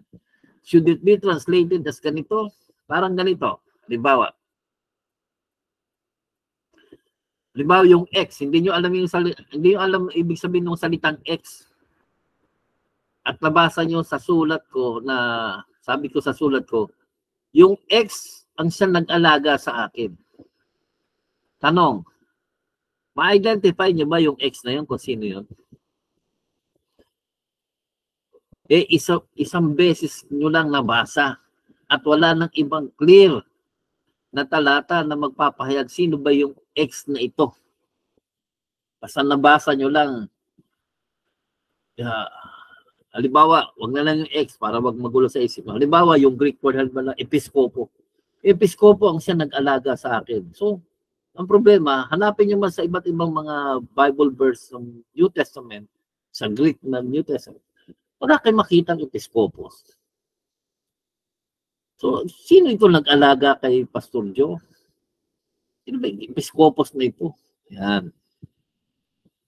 So, wala. Hindi nyo alam, identify. So, kanya-kanyang hula na lang dito lahat ng may scholars. Depende sa kanilang understanding. Yung pal, ngayon, ang ginawa ng iba, naghanap sa tinatawag na contemporary writings. Pag sinabing contemporary writings, hindi man siya kasama sa Biblia, pero isinulat itong mga sulat nito na kasabayan halos ng sinusulat ng Biblia na hindi naman siya kasama sa canon books. At sa pagsasaliksik nila, may naba, na-encounter sila sa salitang halimbawa epis- episkopos. At yung epikos, episkopos na yun ay ah, na- nabasa nila sa ibang kasulatan. Halimbawa si Homer, yung mga classical Greek mga sumusulat ng halimbawa ng mga unang panahon, sila Plato, mga gano'n. May nabasa silang gumamit si Plato halimbawa ng salitang episkopos. At yung sentence na yun, ginamit yung salitang itong episkopos na ito ang siyang nanganak sa akin. Magkakaroon sila ng idea, wow, meron tayong new discoveries. Ang ibig pala sabihin ng episkopos ay yung nanay.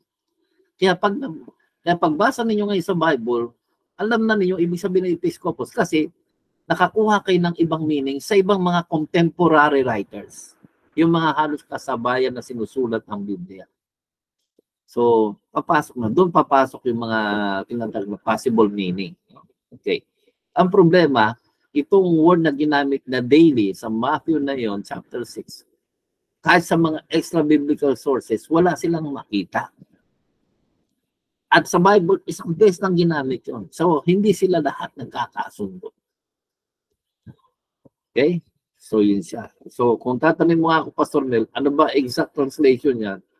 Sabi na nga lang kanina ng ating binabasa, eh, panghawakan mo na lang muna yung give us this day our daily bread.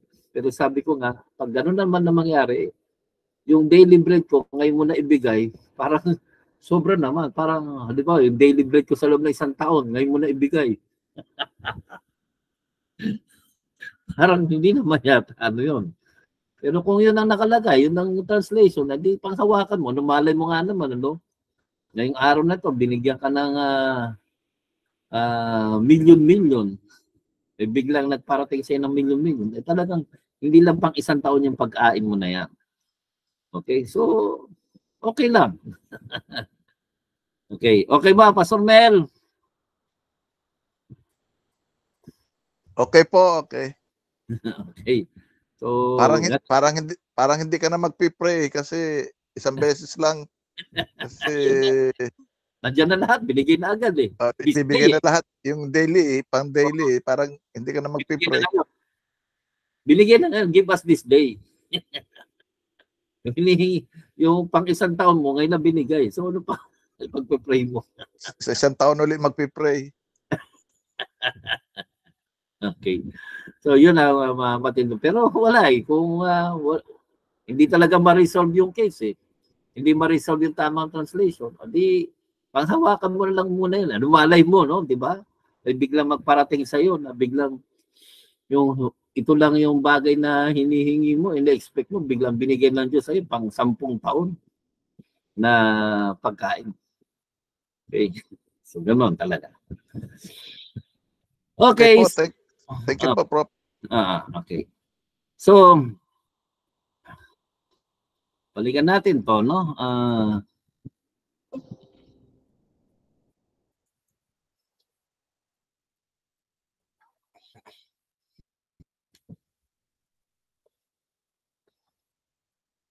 So the Bible discloses specific human interests. For example, Hosea uh, possess a rural interest, Luke a medical concern. O nga pala, yung tanong ko nga kanina, nung sinulat ni Pablo yung 1 Corinthians chapter 15 about the gospel, paano niya ito titrinisin? Sa perspective ng isang ano?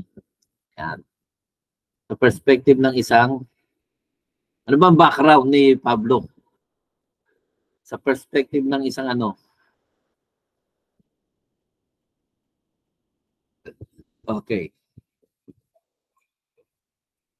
Actually, sa perspective ng isang pariseyo. At ang pariseyo nung araw, sila yung mga abogado nung araw. Because they have mastered the law of Moses. Yan. Kaya lagi niya sinasabi, okay, i-represent ko sa inyo yung magandang balita na ito tungkol sa resurrection of Jesus Christ. Una, sabi niya, gagamit ako ng tinatawag na biblical evidence, which is also documentary evidence. Eh, ganun mahilig ang abogado eh. Sila yung mga religious uh, lawyer nung panahon ng yun ng mga tinatawag na mga pariseyo. Religious lawyer sila. Kaya sila rin ang humahanap, humaharap kumisa sa mga Sanhedrin, yung uh, religious court nila nung araw. Yan. So, if I will going to present to you being a uh, Pharisee regarding the truthfulness about uh, about resurrection. First of all, I will cite to you the biblical evidence which can be considered also as documentary evidence na maliwanag na itong death, burial, and resurrection about the Messiah is actually had a biblical base. Ito yon at alam niya yon. Second, may mga witnesses din tayo at yung iba dito buhay pa.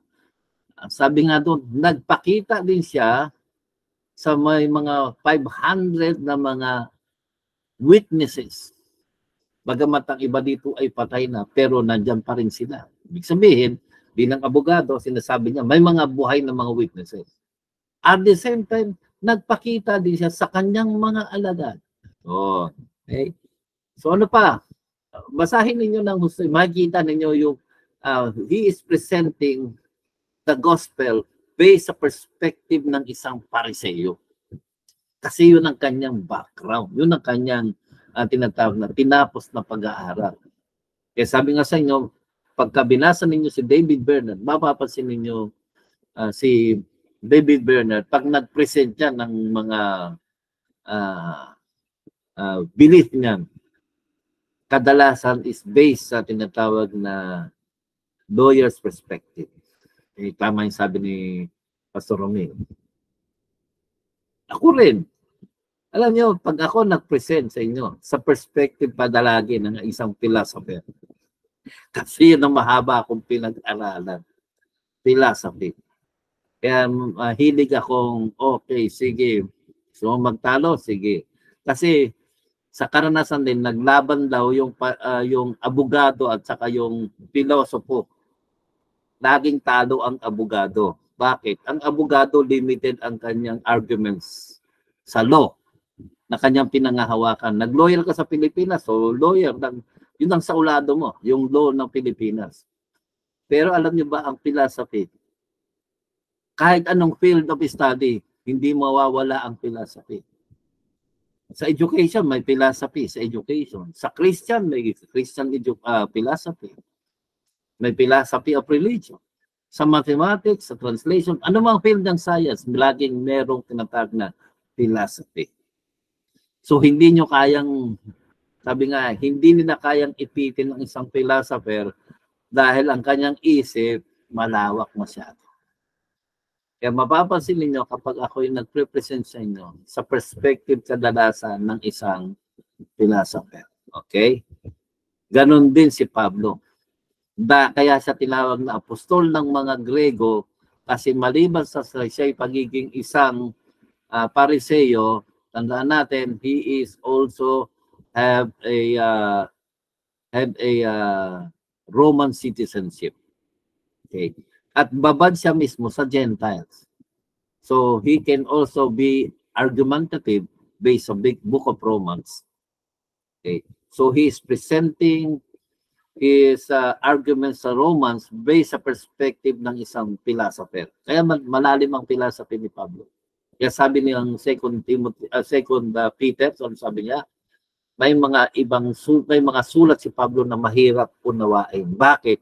Kasi kapag hindi kayo hindi kayo nakasabay sa pananaw ng isang philosopher at uh, ang iyong pananaw lang ay sa isang sa isang kaisipan o sa isang ah, perspective ng isang let's say hindi naman talaga nag-aaral ng Bible kundi nakikinig ng lagi ng ano eh pwedeng hindi kayo magpang-abot ng isip sa sinasabi ni Pablo sa perspective ng isang philosopher as sa perspective ng isang ordinaryong ah, layman ng UPC.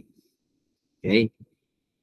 Kaya nga sabi nga rito ay ah, halos lahat ay dinadaan lang yung kanilang mga pan, ah, pagpapahayag sa tinatawag na ah, nagagamit nila yung sarili background sa kanilang uri ng pag-aaral sa pagpapahayag ng salita ng Diyos. Okay, so in the end, nung sinasabi dito na na remember kaya nagkakamali dito yung mga critics natin kasi nakalimutan nila, sabi dito, they forgot. Uh, they forgetting that the Bible is also a human book with human characteristics. Okay? So next meeting, we will be dealing with mistakes number eight, assuming that a partial report is a false report. Ito, mabigat ito. A partial report is a false report. Maganda yan, yung topic na yan. Okay? So we'll be continuing uh, this. Uh, we will go going. We will going to continue this discussion next Monday. Ludo Benanjes. Okay. So meron bang gustong magtanong sa inyo?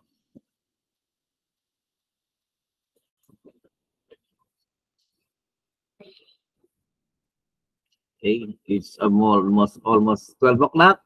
At may, kung meron mang gusto magtanong, sige lang. We have three minutes. Uh, uh, yun? eight minutes to entertain your question. Meron ba?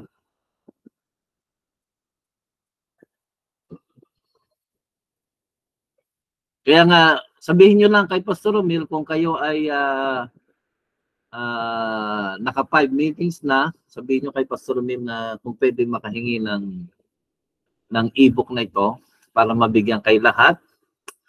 At kung ah, nakalimutan ni Pastor Romil yung copy, uh, ipro-provide ko rin sa kanya para mabigyan mo sila Pastor Romil, ha? Ah, Pastor ah, Joel, para mabigyan nyo rin sila. Sabihin nyo lang, okay? Uh, Sister ah, Myra, Sister Myra, what's your concern? Sister Myra, Opo, good evening, ay good morning na pala. ah, wala Ah, pa pang seven minutes. Pro, Ah. Ah, mabalik po tayo kay Jonah.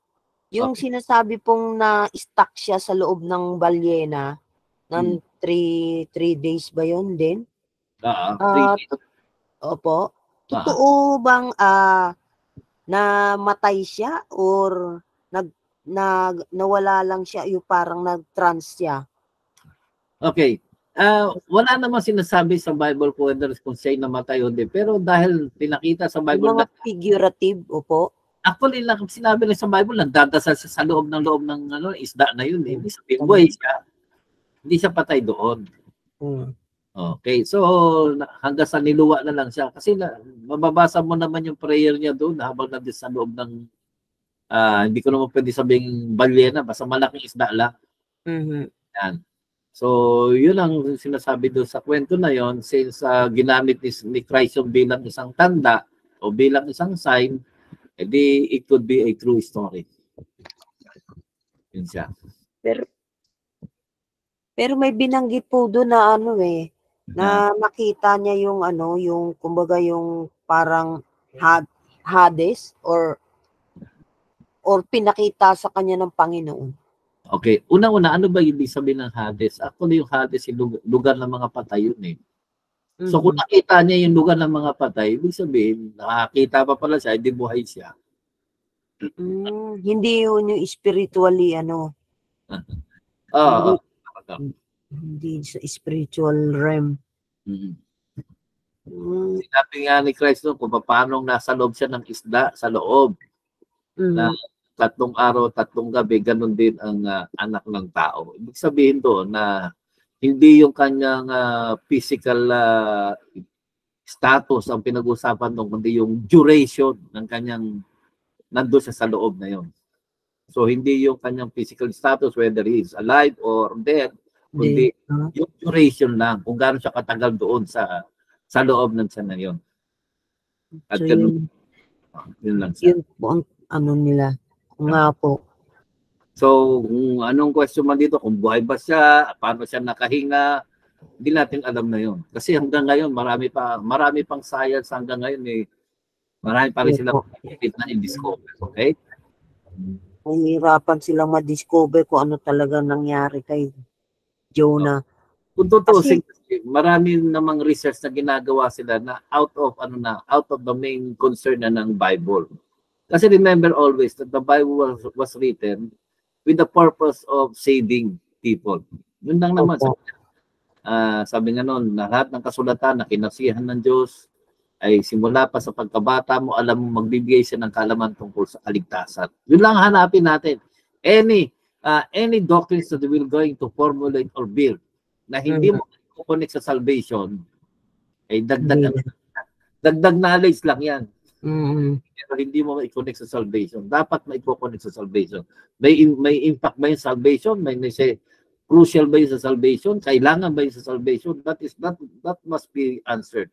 Basta dapat i-relate palagi sa sa Kasi meron pong pagtuturo na yung ibang mga pastor na pagtuturo na nanalangin pangaraw po si Jonah at hinugot siya ng Panginoon doon sa ano na yun? Parang hinugot siya something in hell or what or yun, yun na nga ng patay. yun na mabigat. Kaya nga palagi ko hindi na magpo-post sa preaching niya yung ah, sinita ko na preacher na yun. Kasi sabi ko, mali yung sinabi mo kasi. So nung tinanong ko siya, hindi na niya masagot. Ano ba dapat mangyari? Ganito. Ayan. Hindi ko na ikikwento kasi baka napanood niyo. eh. Mahirap namang ma-identify niyo siya. Kaya sabi ko sa kanya, alam mo, Pastor, no? Malakas ka lang sumigaw, pero mahina yung katotohanan sa sinabi mo. Dapat la, kahit mahina na yung sa salita mo, basta mas malakas yung katotohanan. Katotohanan. Opo. And Thank from, you po. uh, Opo, yun, bro. oh, sige. Mahalaga salvation talaga. Salvation. Kaya sabi nga ni, ni, ni John, ganun din. Sabi niya, marami pang ginawa si Christ, hindi na nga sinulat eh. Oh. Kulang nga daw yung kahit Oo. gawing tinta pa yung dagat, kulang pa raw. Pero sabi nga, nun, pero ito yung mga nangasulat sa, sa ah, John chapter 20 yun eh. Verse 30. Hindi na nakasulat daw yung ibang ginawa niya. Pero pagdating sa 31, pero ito yung mga nangasulat, sabi nga nun, para sino man sumampalataya kay Jesus ay magkaroon ng buhay sa kanyang pangalan. Ibig sabihin, ah, kung ano bagay na mababasa ninyo sa Biblia ay may kinalaman sa kaligtasan. Ngayon, totoo halimbawa, may electric pan ako dito sa tabi ko. Totoo yun. Kahit magdemandahan tayo, pakita ko, may electric pan ako dito. Pero ito yung katotohanan na hindi mo ma-relate sa kaligtasan. Yan ang sinasabi ko dito na ah, hindi lahat ng totoo nakalagay sa Bible.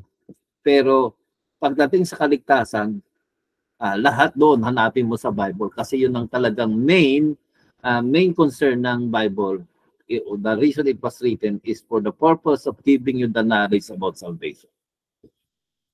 Okay? So meron pa. Kaya huwag kayong gagawa ng mga doktrina na pampaga, pamparami lang ng kaalaman pero hindi nyo may relay sa salvation. Sayang lang yun. Okay. okay. ah, kung wala na at ah, okay na sa inyo ay ah, Sino ngayon? Ah, Pastor Romil or Pastor Joel? Take it away. Kung sino man ang ano ngayon.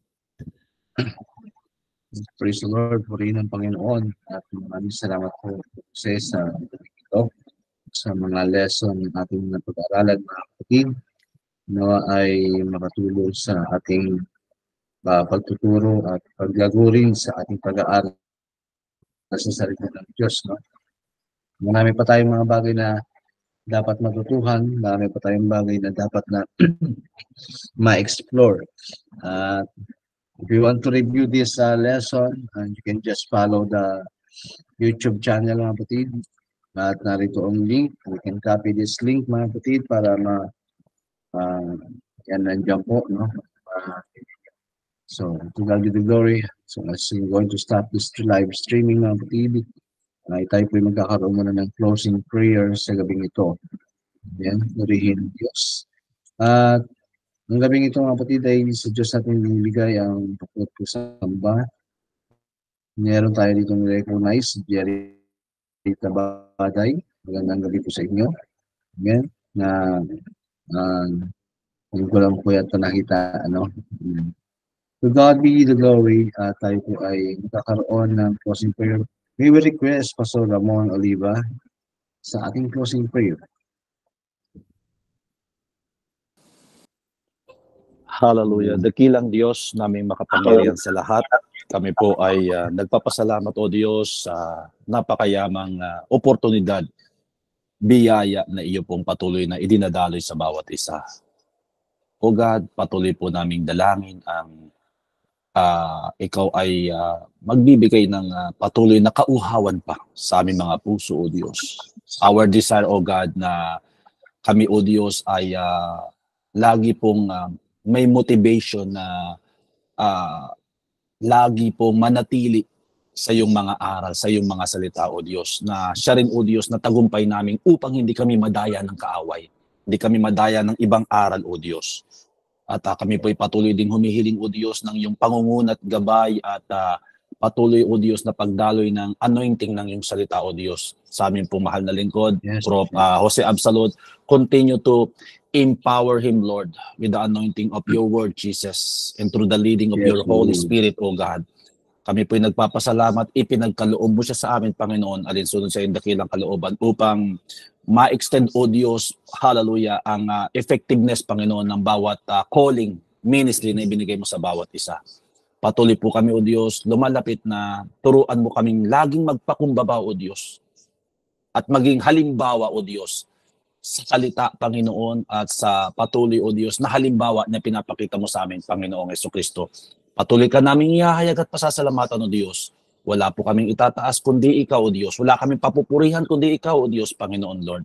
Patuloy mong balutin ng proteksyon ng bawat isa, O Diyos, na sa bawat sa amin, kakitaan kami lagi ng biyaya, Panginoon, sa iyong harapan. Salamat, Panginoon, sa aming mga kapwa kamanggagawa na aming nakapiling sa uh, gabing ito, Lord. Thank you, Lord, for this wonderful uh, fellowship of your word, O God. Sa iyohan mo po ng tagumpay ang lahat ng ito. At sa iyo po namin ibinibigay ang lahat ng papurit pa sa salamat at ang lahat ng kalwalhatian. Seal us with victory as we count all the blessing and promises. In the precious name of our Lord Jesus Christ, we pray. Amen, amen, and amen.